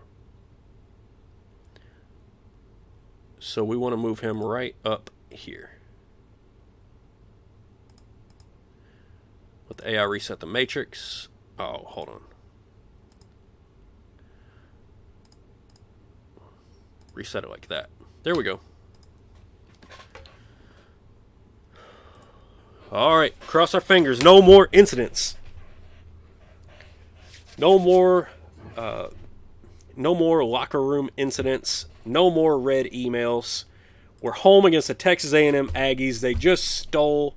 Oh, what did Texas Texas A&M stole our point guard? So let's give them a little bit of retribution. No, another home loss, another team incident. And at this stage of the game, like the backstage incidents are just destroying us. We can't get it together. The, this entire team is imploding. They all hate each other. All right, so Bryce Wendland has been at the center of quite a bit of these. Uh, let's go ahead and suspend him for a week and see if that's enough. So with with him out, no, most of them are not bad personalities. They just don't get along. Fred King is a bad personality. Most of the rest of them are just I don't know, they're just being a pain. So I talked earlier about doing this, and I'm going to go ahead and pull the trigger on it. We're going to move Kellum up here Brian Davis to the three, Flanagan to the two, and insert. Oh, wait. And Magnum at the one. Magnum, Flanagan, Davis, Kellum, Ose. That's what we're going to roll with. I talked about it earlier in the year. We let Tremaine Allen uh, play the point and shooting guard. He's the backup at both of those. Then we got Fred King that can play the small forward and the power forward, and Marsh at the center. Set that matrix, and oh, not exactly what I was looking for.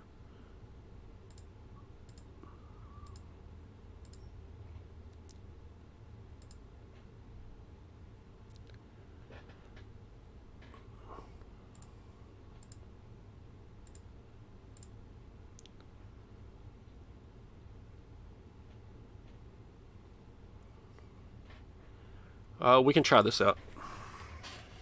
So yeah, only the one really bad personality. It's just a bunch of guys that won't get along and, and play nice together. Really, is all that it is. But it's, I mean, it's destroying this season. It's taking it completely off the rails. Uh, uh, the SEC being deeper and stronger isn't helping, but these guys are all just in terrible moods. They all hate the race, the rest of their teammates. So it's a bad situation definitely nowhere near the, the season that I expected us to have.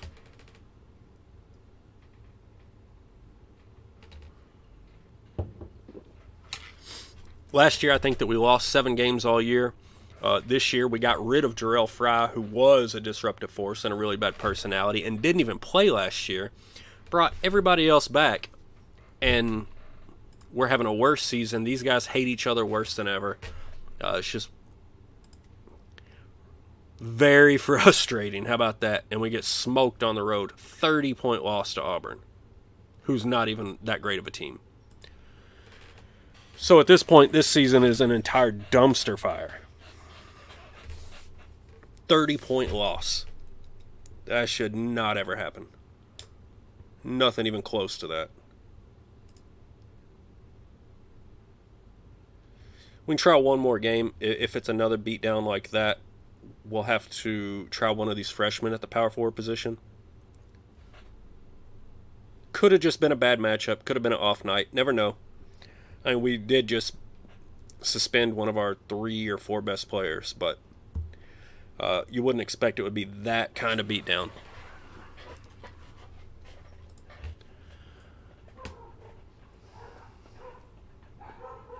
All right, so Arkansas coming in. Let's see if the home court can save us, get us up over the hump, or uh, if we're headed, like at this point, we're very much headed for not the NCAA tournament, even, whereas we should have been a Sweet 16 kind of team. So we do get back on track there 85 points. Nice little uh, 18 point victory over a top 25 team at home. So we need more of those and less of the other things hopefully with Wendland sitting, he either gets his act together or you know it gives him enough time away that uh, they can pull it back together a little bit. Hopefully.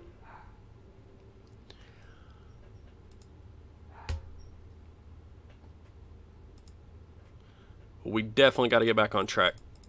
We couldn't let that just continue to fester, so we had to suspend somebody. Is his suspension over? It is. All right, let's get him back in the lineup. So, who do we want to take out?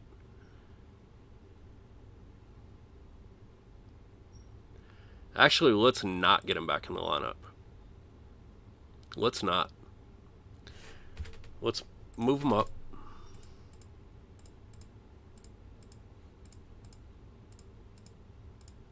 to right there. Let the AI set our matrix. And let's play this for a minute and see what happens.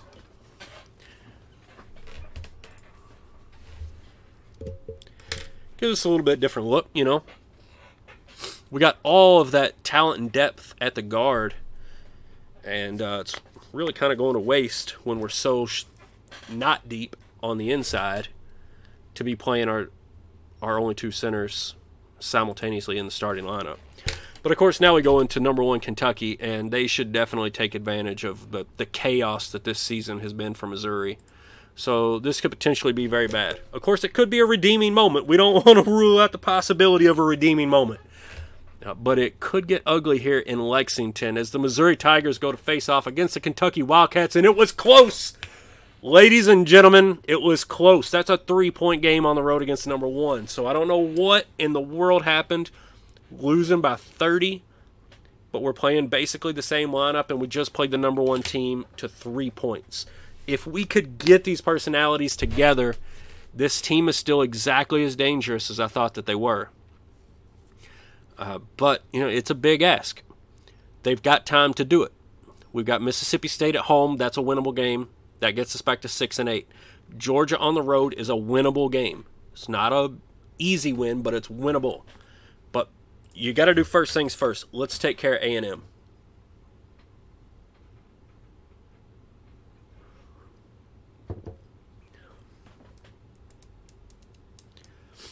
This sim has been a roller coaster, man. I, I, the highs of the recruiting in the early season, and then just came crashing down. Now let's see if we can climb back up or if we're just going to putter off into the end of this season. Woo! Coming back strong, baby. Coming back strong. I like Mangum running the point. I like Davis and Kellum both in the starting lineup. This is going okay so far. This could be, you know, this could be the tweak that the team needed. It got Wendland the suspension, which he very much had earned at that point.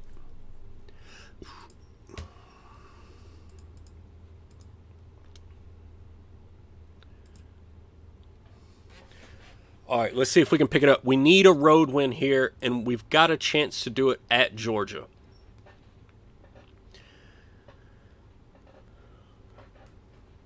We've stolen one.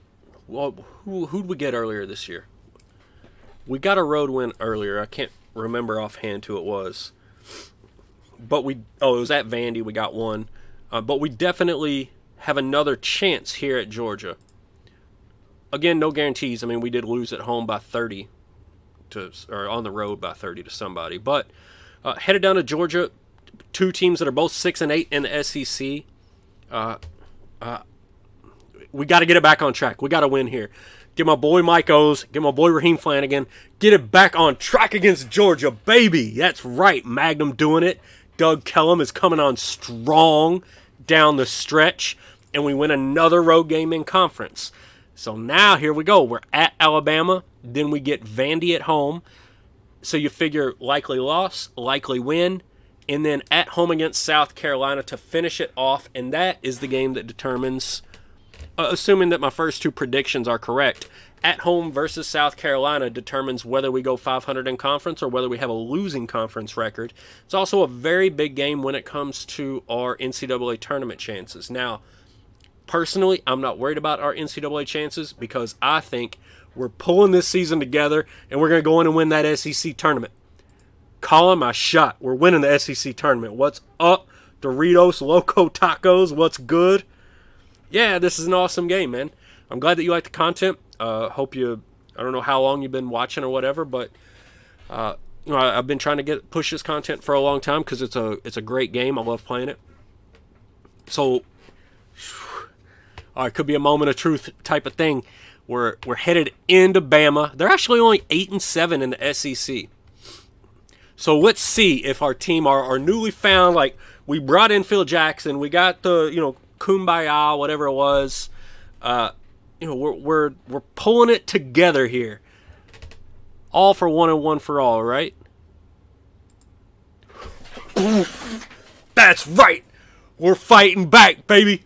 We're we're back on we're back on track. We went the whole season went whoa and now we're we're back up here and we just took down a top 25 team on the road, the Alabama Crimson Tide. Whoo. So now we got to take care of business at home against Vandy, and then South Carolina is is a little bit more of a freebie.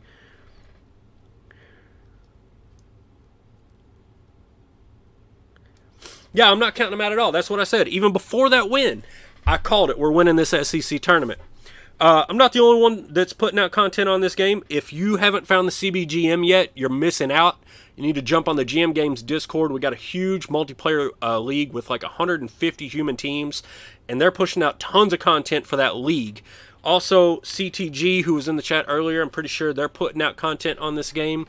So uh, I've been doing it for a while as well. It, it's definitely out there, but I know it's uh, you know it, it's not as popular as some other titles, but uh, it is what it is. I'm having an absolute blast with it. I'm glad to see that you're here. I hope you're having as much fun with it as I am. Uh, but but there's others out there that are having a whole lot of fun with it too. So you know, check them out. Look for them, especially on the Discord. Now, take care of business. Don't slip up.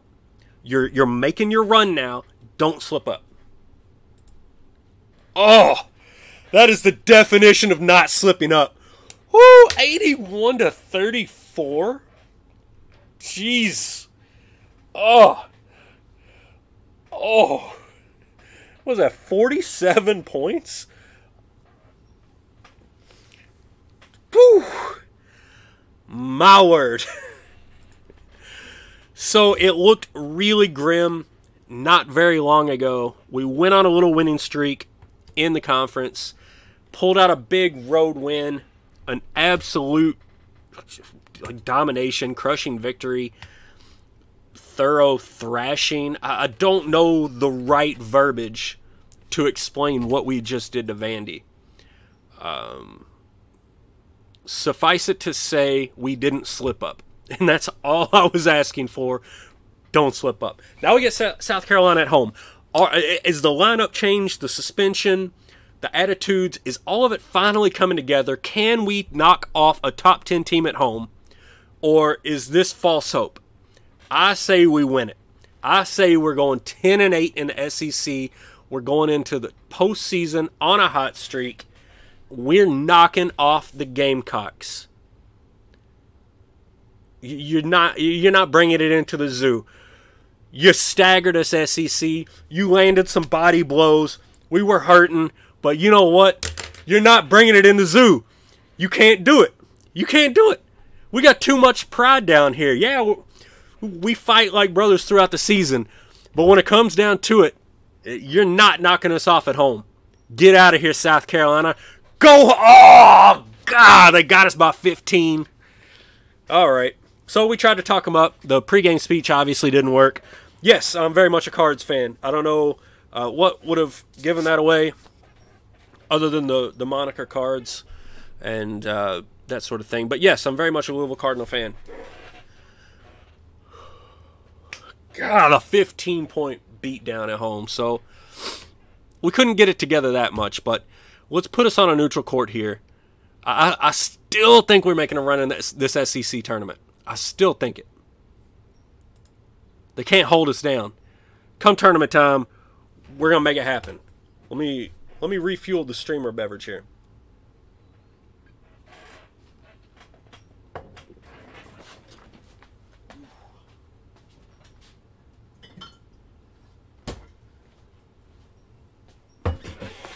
All right, we're refueled. We're ready for the postseason. We're going to get a cracking right here in this SEC tournament. I definitely think, unless we go, I mean, we're winning the SEC tournament, so I don't have to worry about it. But uh, a game or two here should make us feel real safe uh, about the um, making the NCAA tournament. Thoughts on Louisville blowing big leads against Duke? Yeah, yeah, it was tough. Uh, I'm not going to worry too much about this year. Of uh, so here is the underclassmen declaring. Obviously, we didn't have anyone declare, and that's all we're worried about there. Louisville blowing big leads this year is my thoughts are it was COVID. It was a weird year. Nobody got consistent practice. There's all these transfers. Like sports in general are really weird right now. Nobody could be consistent. Nobody could practice consistently players were out for weird issues, missing weeks at a time for weird issues. Like I just outside of the the Baylor Gonzaga national championship game, which was the best two teams in the country, and I think the better team won it. Uh, so I, I don't want to take away anything from that. But like as as far as anything Louisville did or didn't do, I'm I'm not losing any sleep over it. Uh, I'm really it was tough because Louisville's only inside player this year was going to be Malik Williams, and he ended up only playing three games or something like that. So it was astounding they even did as well as they did with, you know, very young inside players. Uh, Carlik Jones was a heck of a transfer. Uh, I don't know. You know, I wish him the best of luck in the NBA. But if he if if his stock happens to slip and he comes back, I'd love to have him back.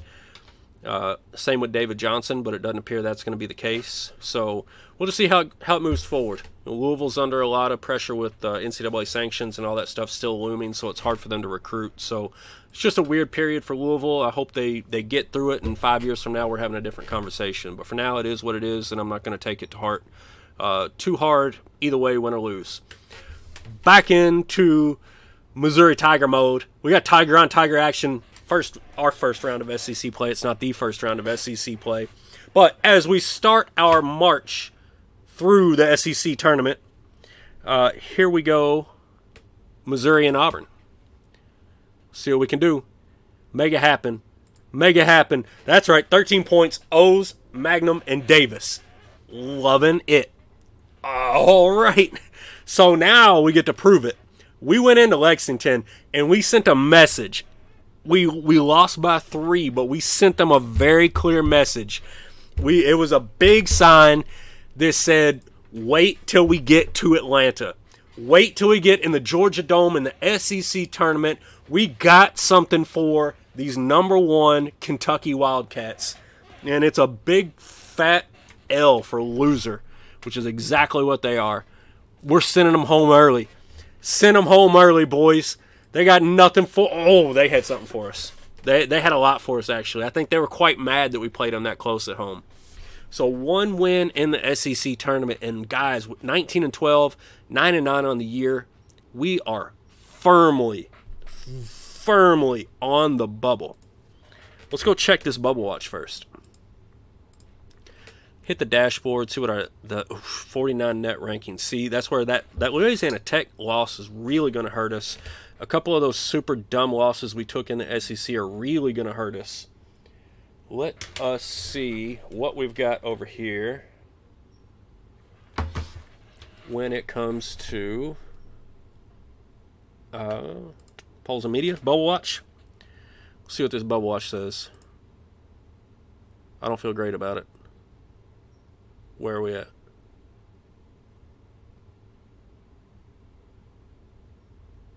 Oh, there we are. We're on the right side of it for now. So a relatively low net rating, but we're on the right side of it. So I do think we're like a like a 9-10 seed type team. But according to that, it looks like we might be in. So let's keep our fingers crossed. Yeah, 11 seed very well could be 11 seed. So disappointed not to have a better showing, but the SEC was just packed this year, especially compared to last year.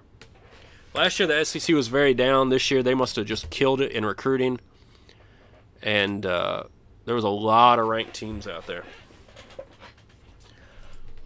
So what I thought was going to be a season where we elevated was definitely a step back, but we've still got a shot here uh, to make a little noise in this NCAA tournament, assuming that we make it.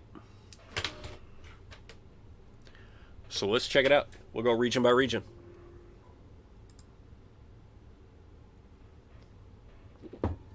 Magazines and the media favored us to be in. Let's see what that committee did. Don't hate on us, committee. No playing it. We don't want to be in a play-in game, right? Villanova, Wright State, Virginia, Mercer. Okay, no play-in game for us. So Kentucky gets the number one overall seed. UConn, Wichita State, Temple, a four seed. Interesting to see. Bama, a six. All right, Texas grabs the one in Chicago. Virginia Tech, a two seed. Michigan, a three. Oklahoma State. There's your uh, UNC. Duke UNC in the first round of the NCAA tournament. Doritos, Locos, Tacos. What do you think about that? Uh, definitely one thing that the game can improve on is the selection of these matchups because you're usually not going to have conference opponents like this in the first round. But there's only so much you can code up. That's definitely uh, understandable. And there comes Missouri right there next to them in the 10 slot. So we pull a 10 seed. We're in the tournament. We get Texas Tech in the first round.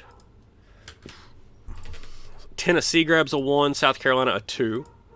Georgia State with a four seed. What is happening in New Orleans? Georgia State, an 11, the 11th best team in the country.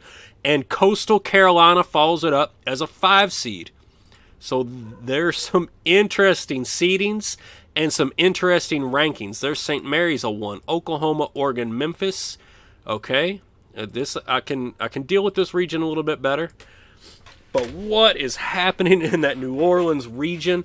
Those are some really interesting, not only highly rated teams, but um, really crazy seedings. I know Chris has got to be drooling at the thought of that sort of thing happening in CBGM.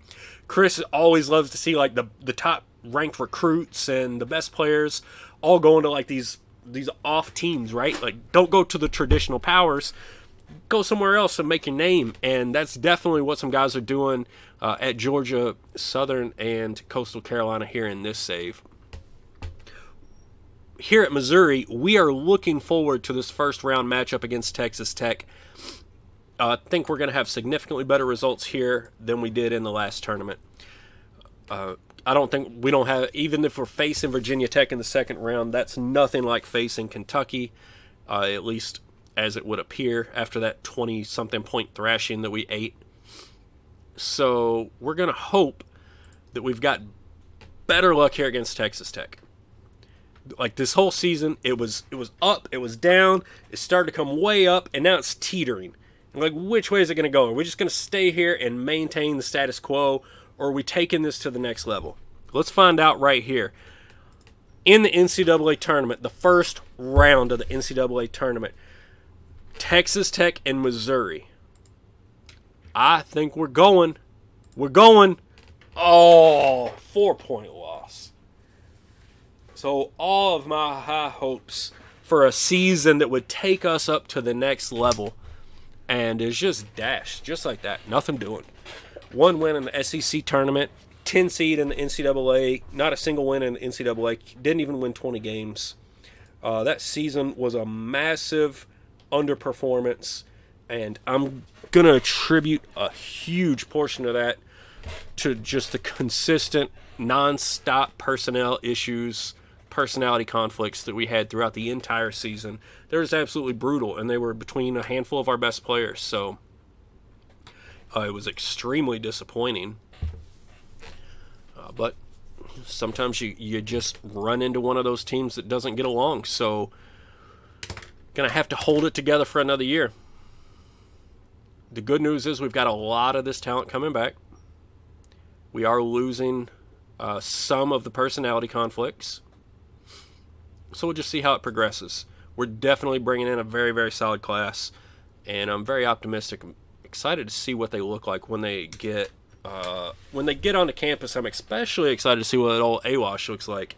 So cautiously optimistic, and not to mention for you guys, the cool thing is the the super bummer of a season really just makes me want to play uh, maybe another season tonight. So we'll, we'll see how far we get into that. Let's take a quick look here. At least we didn't do what Kansas did. They're not even in the NCAA tournament. Uh, let's take us a quick look at this NCAA tournament, see what the Final Four looks like.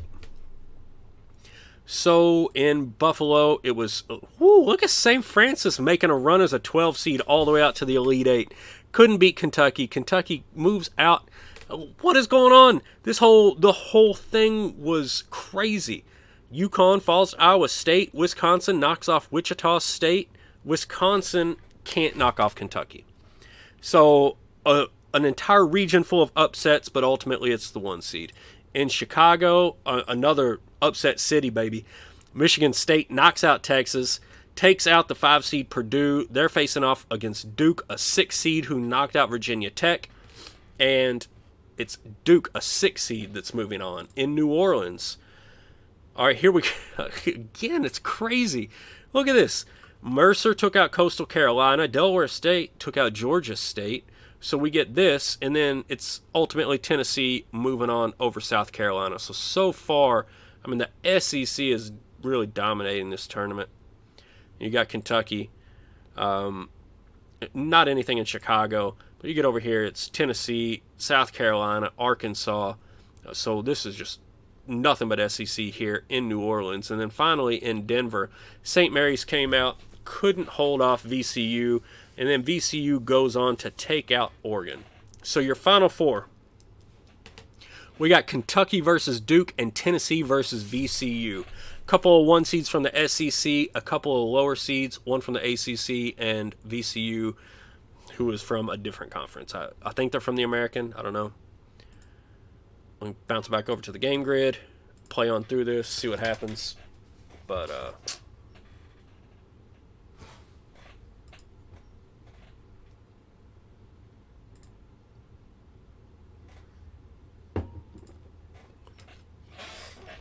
really, really disappointed in this season.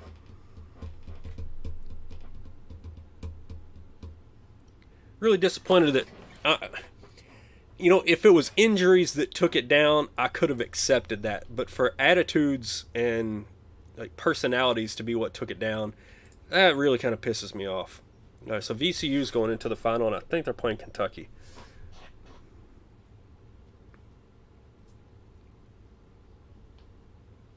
Oh no, they might be playing. Yeah, they're playing Kentucky.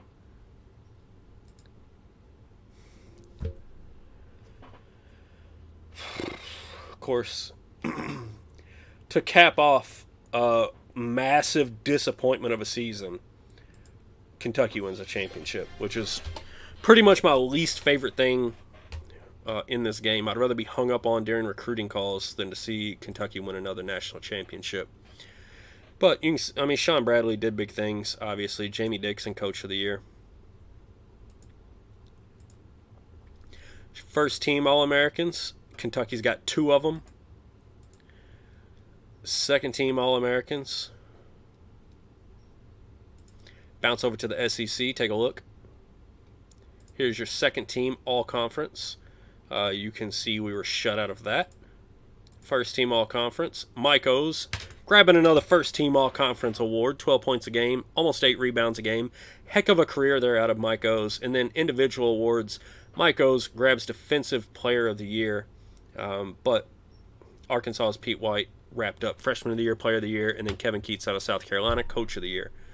So there you have it. Disappointing year. Uh, that 65, 68, whatever it was, uh, I don't know that we don't even slide back a little bit on prestige, maybe. So I definitely don't think we move forward much, if any. Hopefully, we just don't slide back. I do, before we go too far, want to take a quick look at Mike O's because he's a senior. He's a heck of a player. I want to see. So, yeah, 1,300 points throughout his career. 55% field goal shooter. And look, ooh, look at that. My man had a thousand rebounds, right? Right? Is that a thousand or is that nine hundred? Nah, nine hundred. He didn't get he didn't get to a thousand. Low nine hundreds, but still, that's the closest to a thousand rebounds I've seen out of anybody personally. 367 steals from a center, 205 blocks. Not too shabby It's pretty good. How do you get the mods where you have real teams, names, logos, all that stuff? Go to the Wolverine Studios forums. Um, don't go to the college basketball topic. Go to the just like mods topic, I think. I think there's a completely separate mods uh, discussion on that board. But it's in there and you'll see it. Uh, and it's free to download. Uh, it has, a, I think, a oh, not word, notepad. It's got like a notepad instructions, or maybe it's word instructions, but there's there's instructions that come with it that explain to you uh, how to go about installing it. But it's free mod off of the forums built by the community. All right, so our season review, yeah, we did. We slid backwards from 61 to 59 complete opposite of what I thought we would do. Everything else went well. Qualified for the NCAA's, top half of the conference, won the games we needed to win, but just didn't get it done in tournament time. Lost some bad games, and um, this is the complete opposite of what should have happened this year, which is infuriating. So now it's time for everybody's favorite game which is going to be a really short version this year because there's no interesting job offers. Last year we at least had UCLA to look at. Like, what am I supposed to look at this year? Iowa? That's all she wrote for this. Yeah, sure thing. Oh, Chris got the link. Nice work.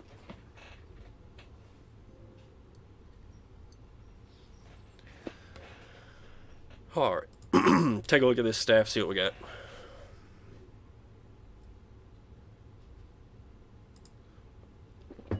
Everybody hanging out, no staff leaving. See if we can just finish in advance without anybody getting offered another job, get through this off season.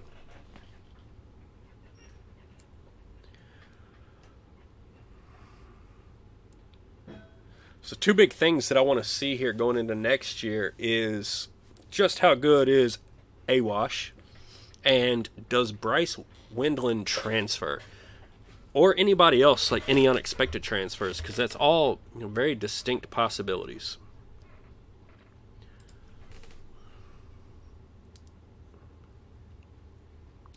Right, so we're going to petition the board. We've already got B plus facilities. Uh, we're going to go for budget, see what we can get out of them. Probably not much. I mean, we had a terrible season, so they should just flat out deny us, I would imagine. Request denied. All right, off season. See what these rosters look like next year. We can take a look. I don't know, and we've we've already been up two hours. I don't know that there's a whole lot of value in going any further tonight. Uh, I think we cut it off once we get to June 26th, as per the usual, and maybe get another.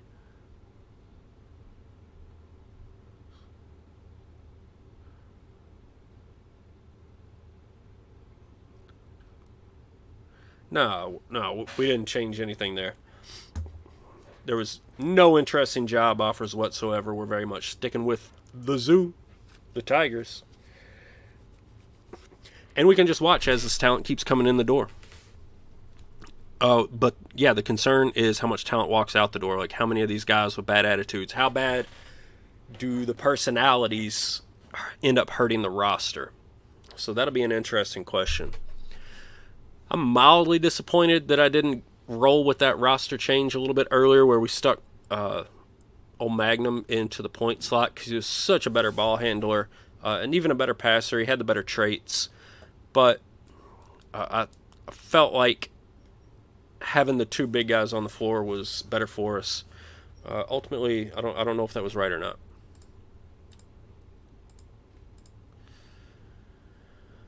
All right, only one open scholarship for next year.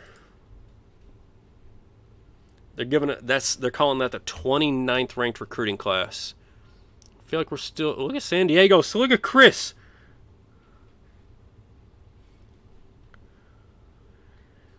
Chris in San Diego State, number one overall. Pitt, number two, no surprise there.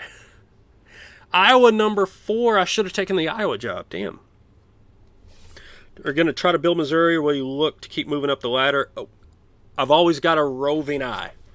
I would like to be content and build up Missouri, but I get frustrated with these tiny little budgets trying to compete uh, with schools that have more than twice the, the budget. So odds are if they don't improve the budget, then I'll probably grab one of the big jobs when they come open. Because I mean, look what we're we're going to be stuck with like what sixty thousand dollars.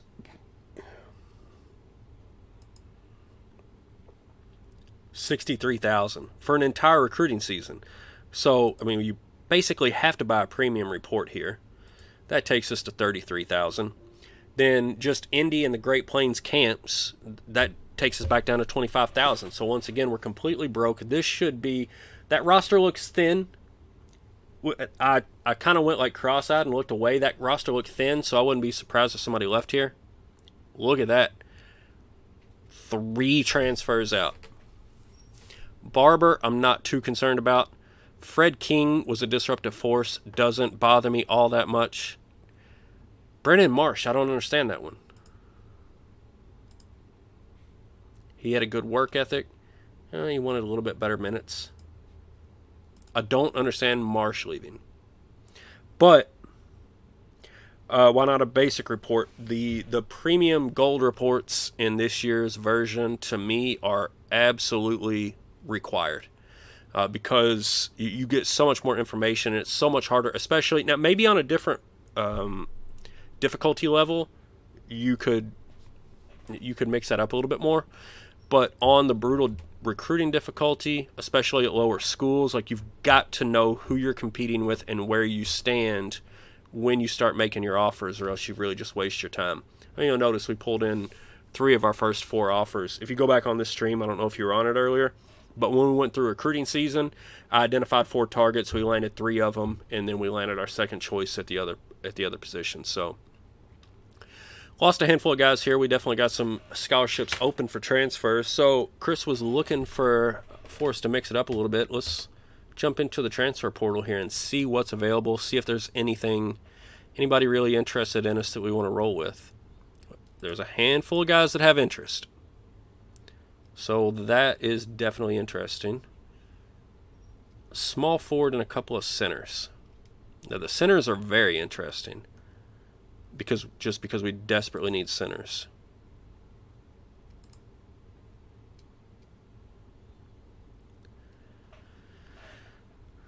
All right, so this guy expects starters minutes. He had a horrible ranking.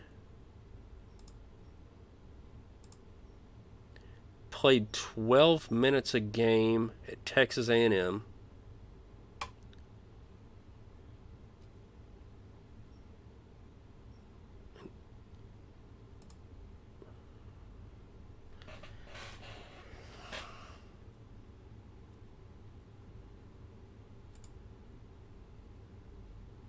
I don't see it. And the problem with him, especially, is the big problem with him, he's not going to get starters minutes. Not at small forward.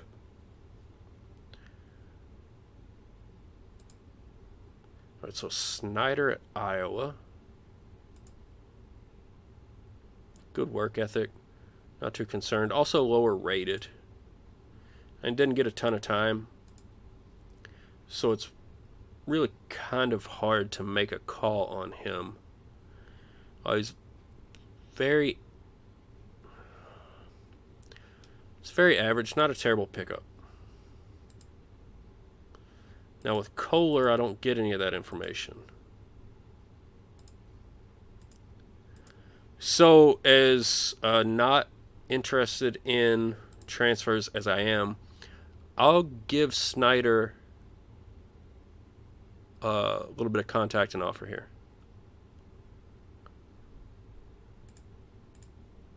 Let's see what happens. Because we are going to need a center, I think.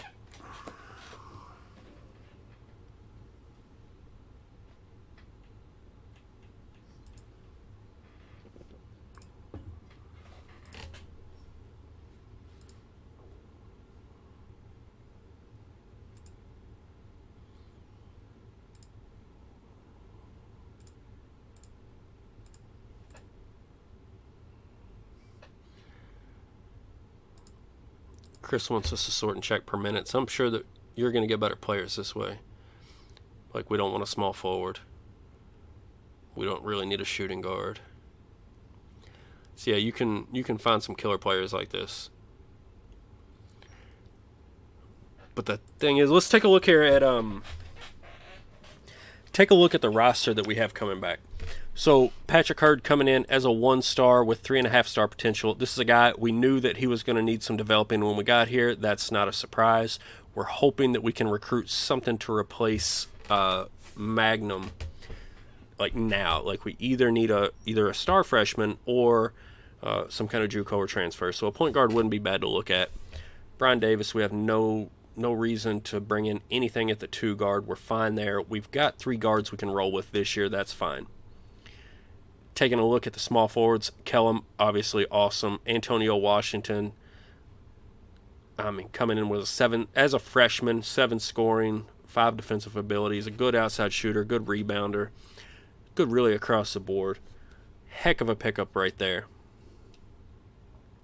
Juan Davis, expecting a lot out of him, coming in with only two stars, four star potential, ton of athleticism. Uh, he's good enough at some of these categories to eat up minutes. That's for sure. Benton, another freshman coming in, needs to develop uh, star and a half, four star potential. We need to see a good guy. Oh, so there's a problem. You get a good guy, but he expects starters minutes, so it's going to be tough there. Davis wants solid minutes. Okay. Awash doesn't care. Kellum wants solid minutes.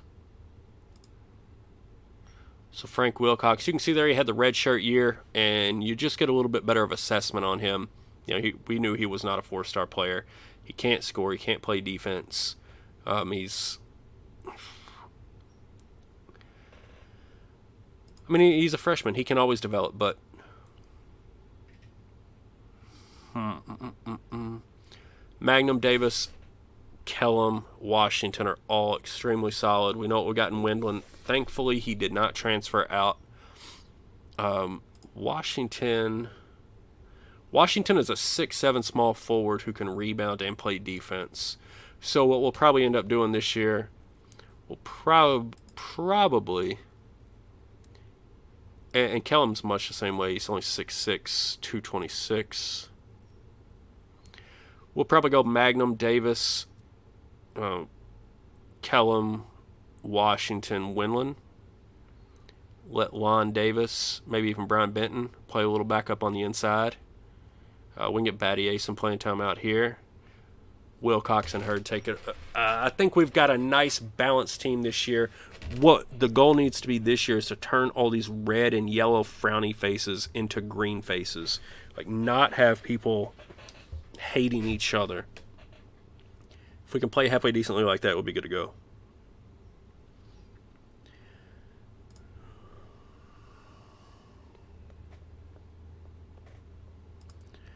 All right, so going back to stats.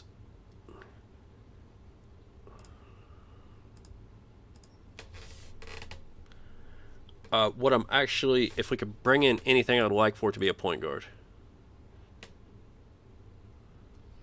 So take a look here and see if anything stands out like this. Both of these guys actually.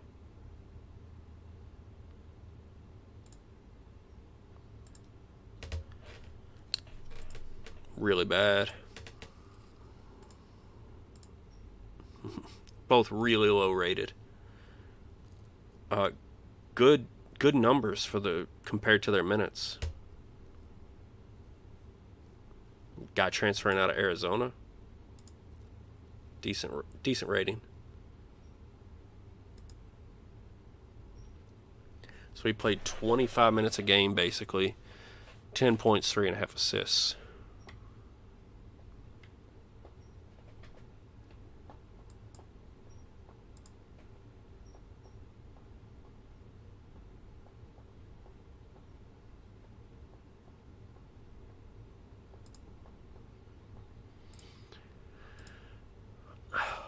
Really wish we could get some of this information or, or just at least the the personality. You know it's got to probably be bad if he's a transfer.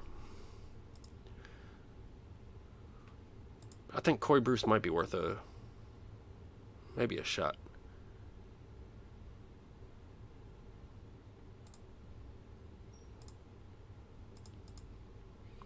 I don't know, man. I just don't trust this.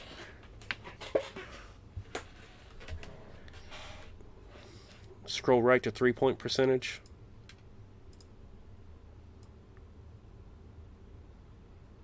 Thirty-four. Well, that's that's kind of middling to me. But I mean, he's a point guard. I don't know that three point percentage is necessarily what I'm looking for.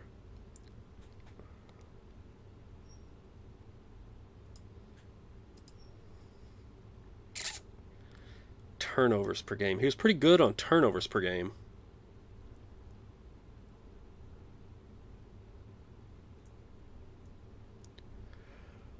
I don't trust this. I only got two scholarships available. Let's see. Go back to the dashboard real quick. So Wendland's a junior. Benton's a freshman. So we're all right there. One freshman power forward. We really need another power forward.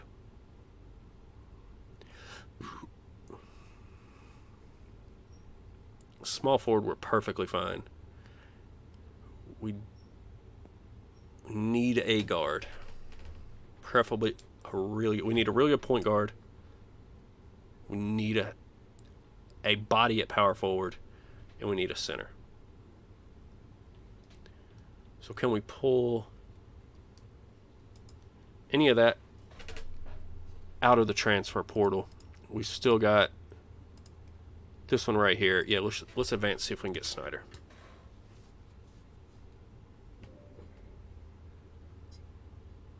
There he is.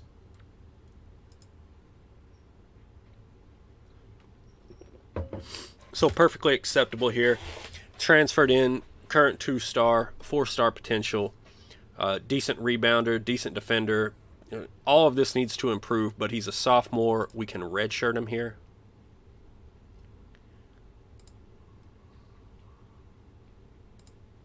Oh, we cannot redshirt him. Has he already? Oh, he's already redshirted actually. All right. Well, I mean, still, he'll be eligible as a junior next year, which is good to go. So we'll have senior, junior, sophomore next year. And then if he pans out, we can always redshirt Benton at that point if we need to. So scoring wise, I mean, we still good. We still got scores on this team, guys. We got a lot of scores on the team. Defensively, Magnum solid, Davis good enough, Kellum good enough.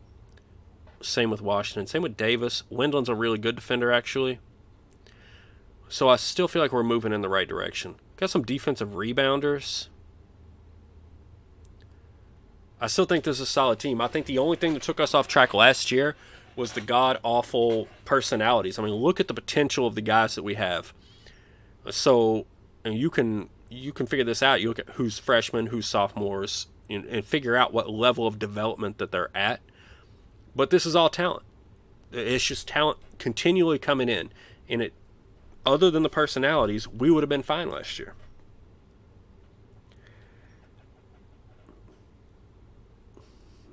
All right, so let's pop out.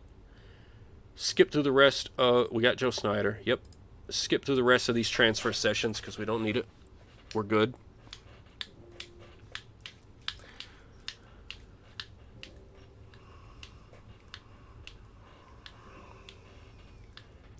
Uh, our unexpected transfer was a power forward.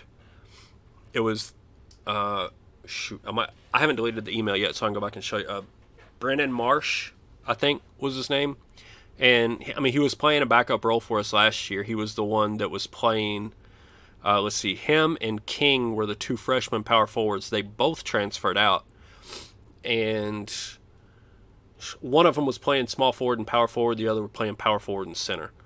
Uh, but you know, King was a disruptive force as far as a personality type goes, and so we didn't need that around whatsoever. So I don't miss that at all. Uh, Marsh, I would have preferred to keep around, but now look at this. Here's what I'm talking about. You know, okay, Patrick Hurd is still star and a half, four stars. That's fine, but he gets in.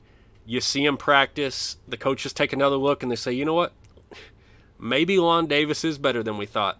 And so this guy that we brought in as a freshman, who we're really hoping to, to count on, eh, they they start off thinking he was a one or two star guy, and they say, oh, you know what? After we, after watching him for a month, yeah, he's a three star guy with four and a half star potential. So Lon Davis, superstar that we brought in, and, and we knew that was the case. Um, the scouting is just not always accurate. So we definitely need to keep him happy, but uh, he can do everything that we need him to do as a freshman and hopefully he continues to develop over time. All right, Mangum, he added the playmaker attribute. Good to see. So, my boy, uh, we've always mispronounced his last name as Magnum and will continue to do so. My boy Magnum should be an absolute genie at the point guard spot this year. See, I'm just waiting for Brian Davis to develop the bucket getter. Because, I mean, he's a scorer from way back. You already know that. He's a junior, though, so he's running out of time. Wilcox doesn't have any attributes, nor does Kellum. Ray Battier doesn't have anything. So we still need him to develop a little bit more. Hopefully he'll be better next year. Awash, nothing yet. Lots of good attributes though. Good outside shooter, good passer from the small forward position, good rebounder, very athletic. Love to see it all across the board. Uh, we're not worried about these walk-ons. Brian Benton, Still, all right, so looking really, really bad there, actually scoring defensively. Um, but we knew he was one of the guys that was decent at camp. He wasn't a top 25 or a top 10 or anything like that. So this is the guy we brought in. We knew he was going to need to develop. Wendland, we still got him for this year and next at center, ideally. Uh, Snyder, the transfer, is probably going to be ahead of Benton on the depth chart. Uh, but, you know, I, I think we're set for another run here if we can keep the personalities on track, I certainly think that that we can outperform what we did last year. Going to Indy and Houston, there's no other way around it.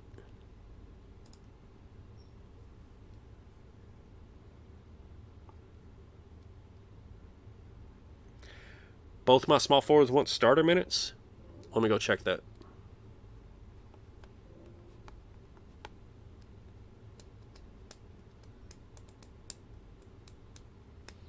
Yeah, Snyder can't play this year, obviously. Um, I was just saying, I think that he'll be ahead of the freshman by next year. Uh, this year, I mean, it, it's either going to be Benton or it's going to be Leonard, the walk on, which would be unfortunate. All right, so Kellum wants solid minutes, not starter minutes. Solid minutes is usually, uh, I don't know exactly how many, but uh, Washington's not concerned. So is it, is it Battier? He's not concerned. Those are our only three small forwards. So none of those guys want starter minutes. Was it a different position? Was it power forward maybe? Solid minutes. We can just go go through here. Benton wants starter minutes, so he's going to be sadly disappointed, which uh, makes the transfer you know that much better because this might be Benton's only year here. He's not going to get starter minutes. He's very much not going to get starter minutes, so he might get pissed off and transfer out.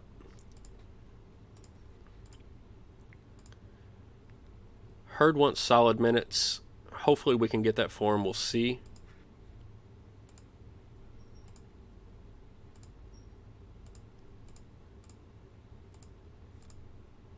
Yeah, Benton's the only one that wants starter minutes on the team.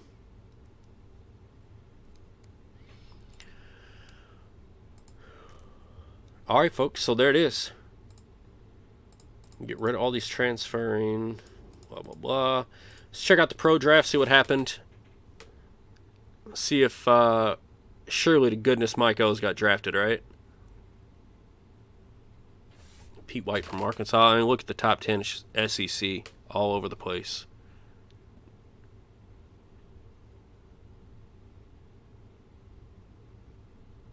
and then the ACC right behind them. There's San Diego State. There you go, Chris. Getting guys pro. Not even in this save, and you're still pumping out the pro prospects. Oh, none of. Oh, yeah, yeah, there he is. Mike O's. Our boy got drafted. Tail end of the second round. Is that our first? That might be our first draftee. I think that might be our first draftee in this save. Oh, no, no, no. Actually, it's not. We've had three players drafted. I'm sure it was um, computer recruited players that got drafted.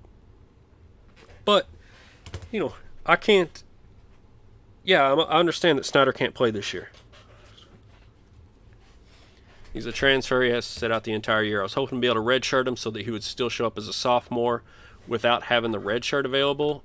Chris says he'll still show up as a sophomore. I don't know if that's the case or not. We will find out, obviously, not in the next stream, but in the one after that. Uh, but we've been up for two and a half hours tonight. That's all that I got. I'm going to go crash. Let's see real quick. What kind of interested players do we have? In Great Plains region still. And again, we just we still don't have the budget to recruit internationally with any consistency. All right, so only two five-star players in the region this year. Uh, but we've got quite a bit of interest once you get outside of the top 50. So, I mean, it, it definitely has, uh, I definitely got high hopes for another big, big time recruiting class. And we keep bringing them in. You guys might not think these are big time recruiting classes, but look at this potential like once we get these guys to play nice with each other, which was the only problem. Last, two years ago, we went what 22 and 23 and seven or something like that. Got a number one seed. Last year, these guys just couldn't get along. The bad apples and the the personality clashes are gone. That is in our rearview mirror. It's in the past. And look what we're still working with.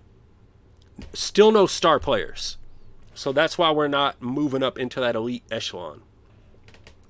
And we 100% have to get a player at point guard this year. No other way around it. But Brian Davis, Wilcox, they're both good. And they'll both be here next year, in theory. Kellum and Washington, same thing. Davis, same thing. Wendland, same thing. Maybe even Leonard.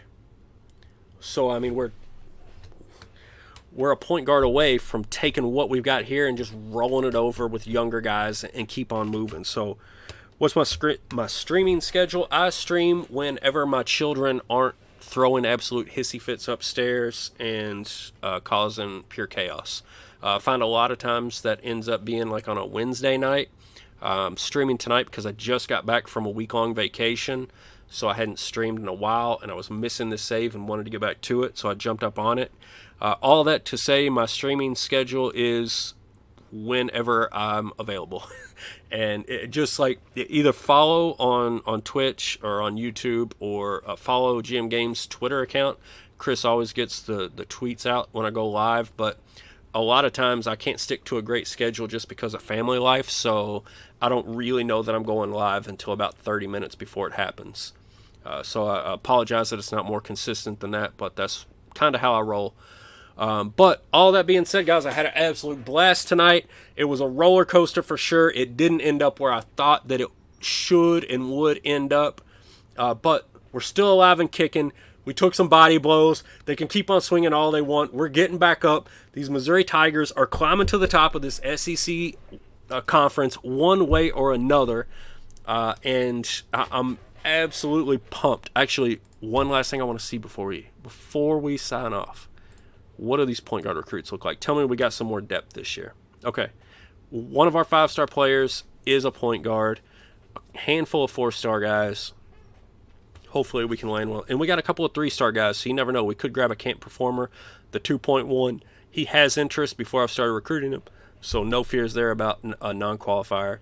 Uh, so we're looking good. Make sure I save, don't do anything dumb. Uh, guys, thank you so much for attending. Hope you enjoyed it. I had a blast, and uh, I will catch you all next time. I hope to make it as soon as possible because, like I said, once a week minimum if I can help it at all, and hopefully more than that. But that's all I got for tonight. Uh, appreciate y'all, and I'll see you next time.